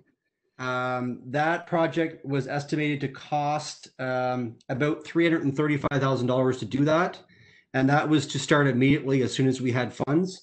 So what I'm looking for council is, is to uh, allow us to proceed with um, amending the tender to include everything on stage one for Iroquois only. And we'll use the funds from the uh, CWWF to get all that work done um, under stage one. And then as council's aware, we do have an application in for the water tower rehabs. If we are successful, we can look at finishing stage two of Iroquois and then doing one and two in uh, Morrisburg. So any questions or comments, I'll be happy to answer them. Okay, Council Wells? No, Shannon, I, uh, it's, it's a good report on that. Uh, I do agree just going with Iroquois.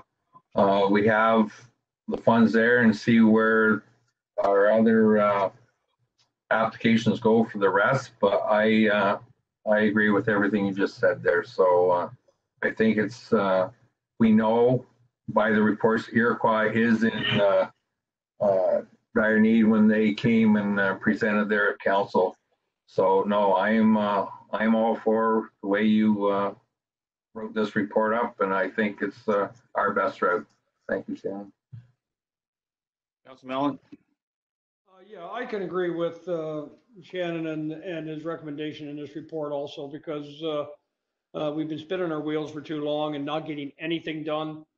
Uh, This gets us started. We need, we need to start somewhere and Iroquois has been identified as the most pressing need. So let's, let's get, let's get moving and let's, uh, let's, get you know, let's get the worst fixed now and we'll continue to work through this and, you know, Otherwise, we're gonna be sitting here in six month time and nothing done to any water tower, so, yeah. Council Lewis? No, I, I agree with uh, Sharon's recommendation. Uh, let's, let's get it going. Uh, let's see if we can get something done within a year. Let's not drag on, drag on like we have on other projects. So, uh, I think we should, uh, go ahead and, uh, spend money in Iroquois. The water tower is worse than Morrisburg. So, let's, let's get something done. Mayor Gardner, please. Thanks, Mayor Byvelds. I totally agree. Uh, let's move forward with Iroquois. I was really happy, Shannon, to see the quality assurance uh, program in there. I think it's good to learn from past mistakes. And I think that was part of uh, his presentation, Bronco's presentation, that stuck with me the most was the fact that there had been no uh, quality assurance previously. So uh, let's let's go. So, yeah, so just in addition to that, so as part of the tender, we do have a separate price from Bracco that will be included, uh, that they will take care of the quality assurance. Uh, figuring that they did the report, it, it makes sense to have them as, as part of that project to, to manage it, to make sure it gets done. Okay, so you have your uh, orders on getting this, uh, the water, air quality tower done as best way possible. I like your idea of doing it. Um, the only comment I will have is get her done.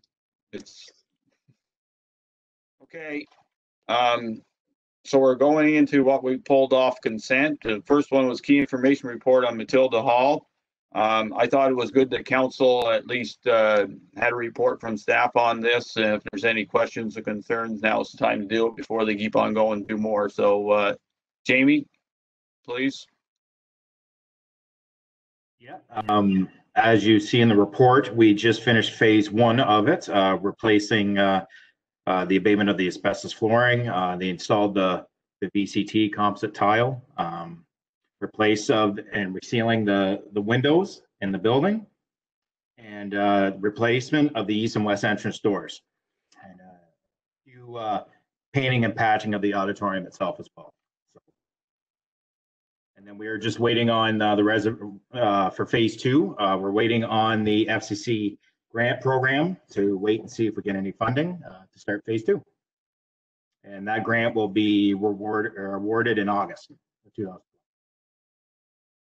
Okay, and then the other comment, I seen that you, you changed the existing ceiling because you had some funds left over.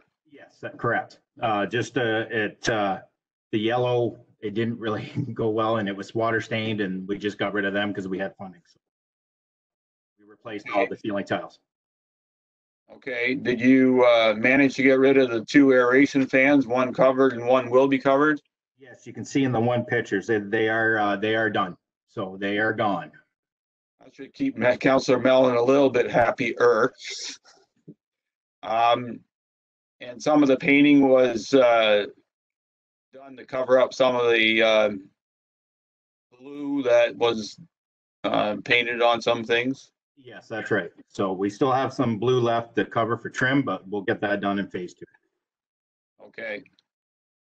So, uh, any comments or questions, concerns from council? I will start actually with deputy mayor first. Um, looks good. Uh, one, well, two questions actually. The grant, is it retroactive? If you get it, can it be applied if you say you started the work now? I'd have to ask Danielle or Shannon, I'll have to answer that. I, I believe the application is it has to be incurred at that time of the awarding. Okay. I'm just checking just to see if we can move some of this stuff along. And uh, has there been any consideration to paint that wood? Not trying to nitpick, but uh, it kind of jumps off the page. It's been, it has been in discussion, yes. Okay. That's all I wanted to say. Council Lewis, you've seen this building more times than the rest of us, I'm sure. I've had nightmares on this building, for God's sake. Uh, I'm looking at the pictures, uh, looks fantastic. But that blue is, wow, that's, that's, that's definitely a sore thumb. And definitely, as soon as I scrolled to the picture, it popped right out at me. But, uh, no, the building, uh, does look real good. I like that paint job and I, uh, I agree with the mayor. It's good to see that those, uh, exhaust fans are gone. Uh, good work, Jamie. I tip my hat to you and, and your guys. Councilor Mellan, the floor is yours. Yes, thank you, Mayor Byvelds. I really like them exhaust fans, but no. Uh, They were, they were there in the old days when you were sitting there smoking your cigarettes. Well, I missed the smoke eaters too that sat in the, uh, hung from the ceiling and did absolutely nothing except hum. But anyways, the- the hall is starting to take shape. I'm, I'm very happy about that. Um, you know, the- woodwork, uh, I've heard uh, Deputy Mayor Gardner has alluded to, I've heard people say it should be painted. I, I don't know. We'll, we'll, we'll cross that bridge when, you know, we can look at that further.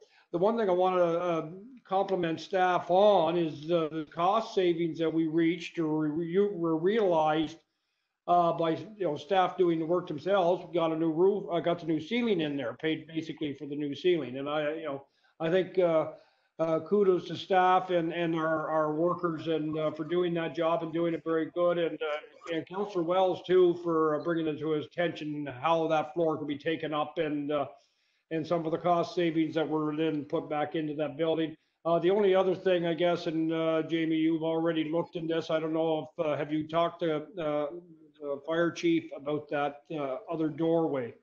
Uh, Today, we, I met with, uh, with, uh, Fire Chief Cameron today, this afternoon, uh, and we looked at the door and we will reverse the hinges. Um, it would need to be done. So we're, uh, I will have staff reverse the doors hinges so it can open up the proper way, so we don't have a bottleneck at the monuments. Okay, thank you. I guess to, uh, to, for the rest of council, it was- this was something that was identified when we were doing the monument, uh, there. It was identified that that was gonna be maybe a problem and, uh, staff at the time were, uh, made aware of it, but it hadn't been done. And, uh, after the monument done, is done, the door opens out towards the monument and it, it causes a bottleneck and I was afraid, uh, and as was the committee at the time, afraid it was gonna be an issue as far as a possible fire hazard or uh, as far as getting out and uh, asked uh, staff to look into that. So I'm glad that that'll be uh, changed. I don't think it's going to be expensive. I, I, I'm assuming you could just re-hinge the thing. I don't know. But anyways, I'm glad to see that. So very well done. Council Wells, please. Uh, yeah, like I, uh, I agree with, uh, my colleagues. Uh, most part, um, deputy mayor, we're a little older than you, like the, the wood is back in our days. I like the wood. But no, I was actually personally back there, uh, and, uh, uh, dealing with Dave and that and Jamie, the, the, the ceiling, the floor, everything looks tremendous. Kudos out to the staff, did a great job. Um, yeah, and as far as painting the wood, we'll see down the road where that goes, but as far as we're moving on and the, like Council Mellan said, the hall's getting, uh, rejuvenated, so, uh, no, good work, Jamie, thanks. Okay, and I'll, I'll pass on my kudos to you and your staff. I know uh, it was a big job, had fortunately, or unfortunately, we had the time to do it and, and, uh, I know it's been, uh, I wouldn't say a thorn, but something that councils in the past have wanted to do, and we finally got something done. Um, you need to get rid of that blue hard. Do it tomorrow. Um, as for the wood, you know, I, I, I agree that, you know, it, it's kind of dated and it's from the era of, uh, Counselor Mellan and Councillor Wells in the old days, but I've seen that stuff get painted up and it can look still pretty good. So um, I wouldn't dismiss that idea as of yet. Uh, if you do paint it, then at least let it, let us have a discussion at council and we can go from there. Okay, good. Thank you very much. I just wanted to make sure that uh, we brought that forward. Um, next one I brought out was a key information report on the on the capital update. So staff sent us a a um, spreadsheet on all the capital items that we had approved and some of the ones that we had um, discussed about taking off. I didn't really have an issue with most of it. Uh, the challenge I had was I want to I want to see some dates on some of those empty holes. So um, I can leave that up to Shannon and staff to deal with that, but um, June starts in two weeks, and I think that some of those things are gonna be in the fall, and I know we're having some challenges with um, getting things done, but things are opening up and uh, everybody's gonna want to get things done, and uh, I think it's an opportunity to start getting this stuff done, get the dates on them, get the work done. Once it's, as I always say, once the work is done, you can feel comfortable that it's done and we can move on and see where things go. So that's, that's um, the reason why I wanted to bring it up, and make sure council was aware of what was going on. So any comments, Shannon? So we will update that uh, capital list because we did have, we do have some tenders that were issued last week that we can update, but I'll work with Sarah to make sure we get some uh, tight uh, dates on that for the next meeting. Yeah.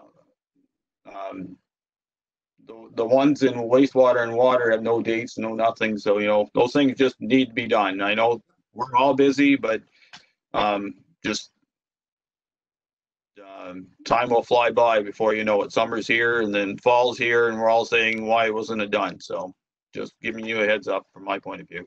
So Any we'll, uh, comment? Bring it uh, to our June 1st council meeting with the update. Okay, any comments from council on that? Okay, thank you. Next one is pool bylaw. So uh, I'll turn it over to Deputy Mayor. No, sorry, Carman House first. Sorry. Carman House Key Information Report. Wanted to bring that uh, forward. I think staff needs to explain a few things of what's going on there, and then we can go from there. So who wants to, I think, who wants to lead it on? Uh, if Danielle's there, she can lead it and I can add in anything else. You're on mute, Danielle. Sorry about that. Uh, so in front of you is just uh, an update on where we are with the Carman House. Um, so we've completed quite a few things on the Carman House renovation from 2018 till now. Um, there are a few remaining items that we still need to complete uh, with the facility staff. So um, we need to install two fire rated doors, and that was discussed uh, in council in 2019. Um, we need to reinstall the fire shutter that's located on the outside of the building. Uh, we need to do a little bit of electrical work inside Carman House to make sure the fire shutter closes with the fire alarm and whatnot. Um, and then just do some sump pump line repair. And that was just due to where the stairs were um, put in. So we just had to relocate the sump pump line. Um, so that's pretty much what we need to do. We need to do a little bit of drywalling as well. But uh, I estimate that in the report, you'll see it says that it's have until the fall is what I was estimating, and we were just having some issues with COVID. Um, however, based on conversations, I think that the maybe the mayor can speak to um, with the tenant, we may be able to move up that timeline significantly. Um, so if I if anybody has any questions, I can answer them or. Uh, I appreciate your, uh, your comments on this, Danielle. You were kind of thrown into this fire, uh, without knowing a lot of knowledge and it's been on our, it's been something we've been working on as council as long as we've been in it too, so. Um, we are in talks with the tenant and we're gonna have a meeting, uh, shortly to, to see how we can schedule the rest of the work. But my concern is that we need to try, we need to get this work done. And right now, it would hold up the opening of a museum if that was even thought of, but, uh, as of right now, that's not an issue. Um, if it was, we'd be, we'd be in a, in a bit of a bind, so. Any comments from council? Counselor Wells? Uh, yeah, uh, obviously I've been involved in the Carman House right from the, since I got elected. Um, yeah, I, I definitely, I definitely want this done, Danielle, as quick as possible. Uh, I don't know the conversation you had with the tenant, with Mayor Byvelds and that.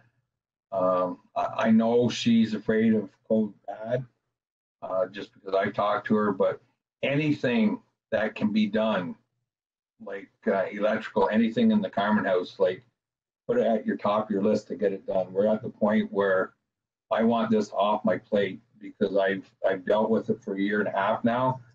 Um, just moving forward, just your list to get the this council meeting or whatever council meeting. I don't want to see this on here anymore. That's how much I'm done with it. Um, we have to respect uh, the tenant. If she's that afraid, uh, I'm sure uh, uh, Mayor Byvelds, he knows the tenant well, and obviously, uh, he's talked to her, maybe we can in, basically, the only thing we have to do there is put that uh, escape door. And up there, and the rest pretty much is off her limits. Correct, Danielle, as far as uh, going into her apartment, maybe a little electrical or the fire shutter, which has, which was, uh, I don't know how that got missed. Well, we do know how it got missed, but anyways, uh, uh, it can probably be maybe rectify that we can use it or rectify it that we can use it on the outside, which would save a lot of headaches because it is designed for the outside as uh, to our conversation we had. So, um, yeah, other than that, just keep pushing this like forward, forward, forward. I just, I want off the, I want off the plate. Thanks. Council Mellan, any comment? No, except I've been looking at this, um, for two and a half years probably. Uh, yeah, just somehow get her done, like, uh, you know. just- I, I know you're working the best you can with this, uh, under the circumstances being brought in at the, you know, dropped into this, uh, pan, Danielle, but if it's any way at all we can move this forward to get it done within the next, I'd like to see it done within the next month or, you know, ASAP. Council Lewis? This is a nightmare that just seems to not want to go away. You know, I know with the COVID, it kind of knocked us off a little bit, but uh, I do believe there is some remaining jobs here that that most likely can be done ASAP. I just I just don't want this to lead on for another three to six months. Of it's just oh, it's it's come to the end for me. And that's all I have to say. I know I know Danielle, you're you're trying your best, but uh, it's, it's it's a nightmare. So uh, let's see what we can get done and let's get this off the books. Thank you. Deputy Gardner, please. Thanks, Mayor Byvelds. Yeah, Danielle, you, I don't know if you can sense the frustration around the table. Um, I uh, respect the fact that uh, you're fairly new to us now. You see, it feels like you've been here a while, but, uh, and this is a new file for you. So this is a much gentler uh, conversation uh, or statement by me uh, than it would have been had you been here for a full year. Uh, but this needs to get done and it needs to get done as soon as possible. The residents of South Dundas are absolutely exhausted uh, hearing about the Carman House and, uh, you know, it, it just, it needs to get done. End of story. And the faster you can do it, the better. And then we're done. You know, the COVID-19 situation is absolutely horrendous. Um, but, you know, I hate, I would hate to think that, you know, thank goodness we have COVID to, I don't want COVID-19 to be the excuse for this. I want it done. So, yeah, thank you. Okay, Shannon, Just want to just rest assured, council, that Danielle, Jamie, myself talk about the Carman House on a weekly basis. Um, we understand the urgency to get this done. Uh, this has been part of the file for, for two years. Uh, it's something that we definitely want to get done in the next couple weeks if we can.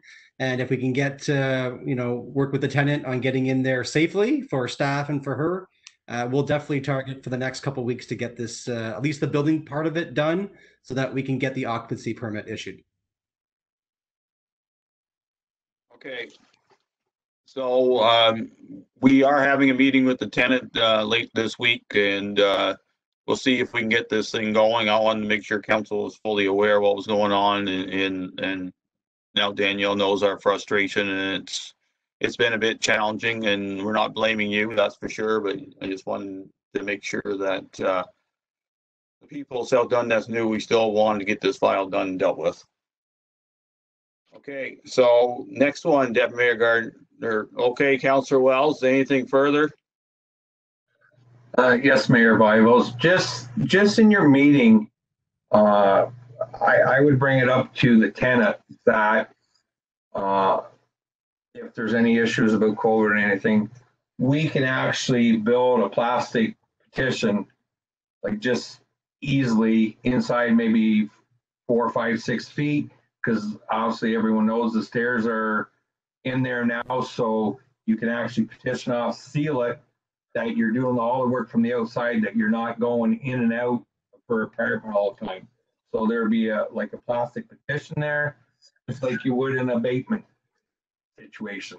So it's sealed that you're entering the house from the outside, from the stairwell. You go in, you do your work, and when the door is all installed, take the plastic down, that you're not constantly going back and forth through her house. And I, I think that's the step you should take when we start to do the egress door. Okay, we'll take that situation, uh, suggestion in mind, thank you. Um, Now Deputy Mayor Gardner, pool bylaw. Thanks, Okay, Mayor We Byvelds. got there eventually. Thank you, Mayor Byvelds. Um, yeah, this is just actually a simple request. Uh, I've uh, been speaking to some residents and actually uh, um, folks that have purchased, they're known as swim spas. And our bylaw right now doesn't speak to them. They're a, a fairly newer um, item that can be purchased. Uh, I believe, and lots of the residents believe that they actually fall under the, uh, a whirlpool tub or a hot tub, uh, with the hard cover on top. Um, but our bylaw right now is, uh, forcing folks to treat it like a pool. So I don't want to get in the murky waters of redoing the entire bylaw. I'm just w- wondering if it would be possible if we could speak to this new new product that isn't spoken to in the current bylaw and kind of add it in there with the uh, whirlpools. Okay, so, um, just to let you know, I never want, if we need to change a bylaw and do it right, that's not a problem. That's just the right thing to do. So Nicole, uh, welcome back to, to work. We appreciate it and, uh, let us know your, uh, your point of view on this subject, please. Thanks, Mayor and Council. Um, I did some research and just working in the different neighboring municipalities myself, I do know that the hot tub enclosure covers are covered under their bylaws. Some do have separate pool bylaws and some include it under their zoning bylaw like we do. Unfortunately, our current zoning bylaw does not have the exemption for those covers, so each pool or uh, under the definition of a pool in our bylaw covers any um, artificially enclosed body of water that's deeper than 610 millimeters, which is two feet. So that's basically your hot tub. Uh, I have seen those those spas as well. Um, so without rewriting our current zoning bylaw, which I believe we're in the process of doing now, we would just have to provide a, a, separate bylaw exemption for the hot tub covers themselves. Okay. So would you uh, be willing to bring that back to council uh, as a, as a report and as a separate bylaw in addition to what we currently have? Yeah, absolutely. We can do that for sure. Okay, Deputy Mayor Gardner, happy with that? Absolutely. I, I don't know if in that bylaw, Nicole, would we, how, we just basically say anything with a hard cover? It's a so- whirlpool, like, do we speak? Uh, so essentially, it has to be enough support. So if someone climbs onto the cover, they don't collapse it because there's a drowning concern, right? But as long as it has a su- sufficient support and can be lockable um, when not in use, then that's that's basically what's covered in all of the other municipalities. Perfect. That is, Okay, so we'll, uh, so when you bring that back to council, we can have a, a debate on it. I think the key to this whole um, pool bylaw or, or, um, or, uh, as you say, a, a water contained uh, vessel has to be safety, uh, safety of our residents, but safety especially of our children that uh, tend to want to climb in things and nobody wants them in their backyard and stuff happening. So cover works, that's great, no problem. Let's bring it back to council and we'll have a discussion and uh, go from there. Anything further from council on that? Mayor Byvelds, I guess it's just for clarification, these swim pools, uh, I think if I know what you're uh, referring to, Deputy Mayor Gardner. Um, Are they any, uh, are we talking structures below ground, at ground level or above ground? Or both hot tubs, you know, are three, four feet above ground, I guess, if you will, you know? Uh, these swim pools, are we gonna be distinguishing between, you know, anything at ground level that are built in the ground or anything that's above ground? Um, Mayor, if I can, they, uh, basically the swim spas that I looked at, they're, they're, um, uh, uh, whirlpool on steroids, if you will. They're just bigger. They just do different things. They have, they still have the jets, they still have the seats and stuff, but you can swim in them. They tend to be more rectangular in shape. But uh, yeah, you might want to consider getting one. But they, uh, yeah, they come with the cover, very similar to uh, uh, hot tub. Um, I I'm with you on safety, uh, Mayor Byvelds, and but I think these are designed with that enclosure cover as part of it. It's not an add-on, it's actually part of the the physical pool, if you will. So yes, it's it basically just think of that. It's a hot tub on steroids. I don't disagree, Deputy Mayor Gardner, but uh, all it takes is somebody not putting the cover back on and then you have your- yourself a hazard. So I think um, we're, we got to make sure that they're done right and then um, let's wait for Nicole's report and then we can have further discussion if there's, uh, if there's needed to be. Would that be fair? Absolutely. Okay. And that's, that's the end of that. We have no notices of motion, Madam Clerk. No, We have no closed session. no. Ratification bylaw then, please. Moved by Deputy Mayor Gardner, second by Counselor Lewis. The bylaw number 2020-40 being a bylaw to adopt, confirm, and ratify matters dealt with by resolution be read and passed in open council, signed and sealed. Call the vote, please. Mayor Byvelds, Yes. Deputy Mayor Gardner, Yes. Counselor Lewis, Yes. Counselor Mellan, Yes? Counselor Wells. Yes. Motion carries. Uh, Before we ask for the adjournment uh, motion, I'd like to thank uh, council for their work this evening. I'd Like to thank staff for their valuable input. and I'd like to thank uh, all the audience out there on Facebook Live. Go ahead, Madam Clerk. Moved by Counselor Wells, second by Counselor Mellan, that council now adjourn to meet again at the call of the chair. Vote please. Byvelds, Yes. Deputy Mayor Gardner, Yes. Counselor Lewis, Yes. Counselor Mellan, Yes? Counselor Wells. Yes. Okay, with that, it's carried. So this meeting is now adjourned and uh, we'd like, again, thank everyone for participating and uh, have a good evening.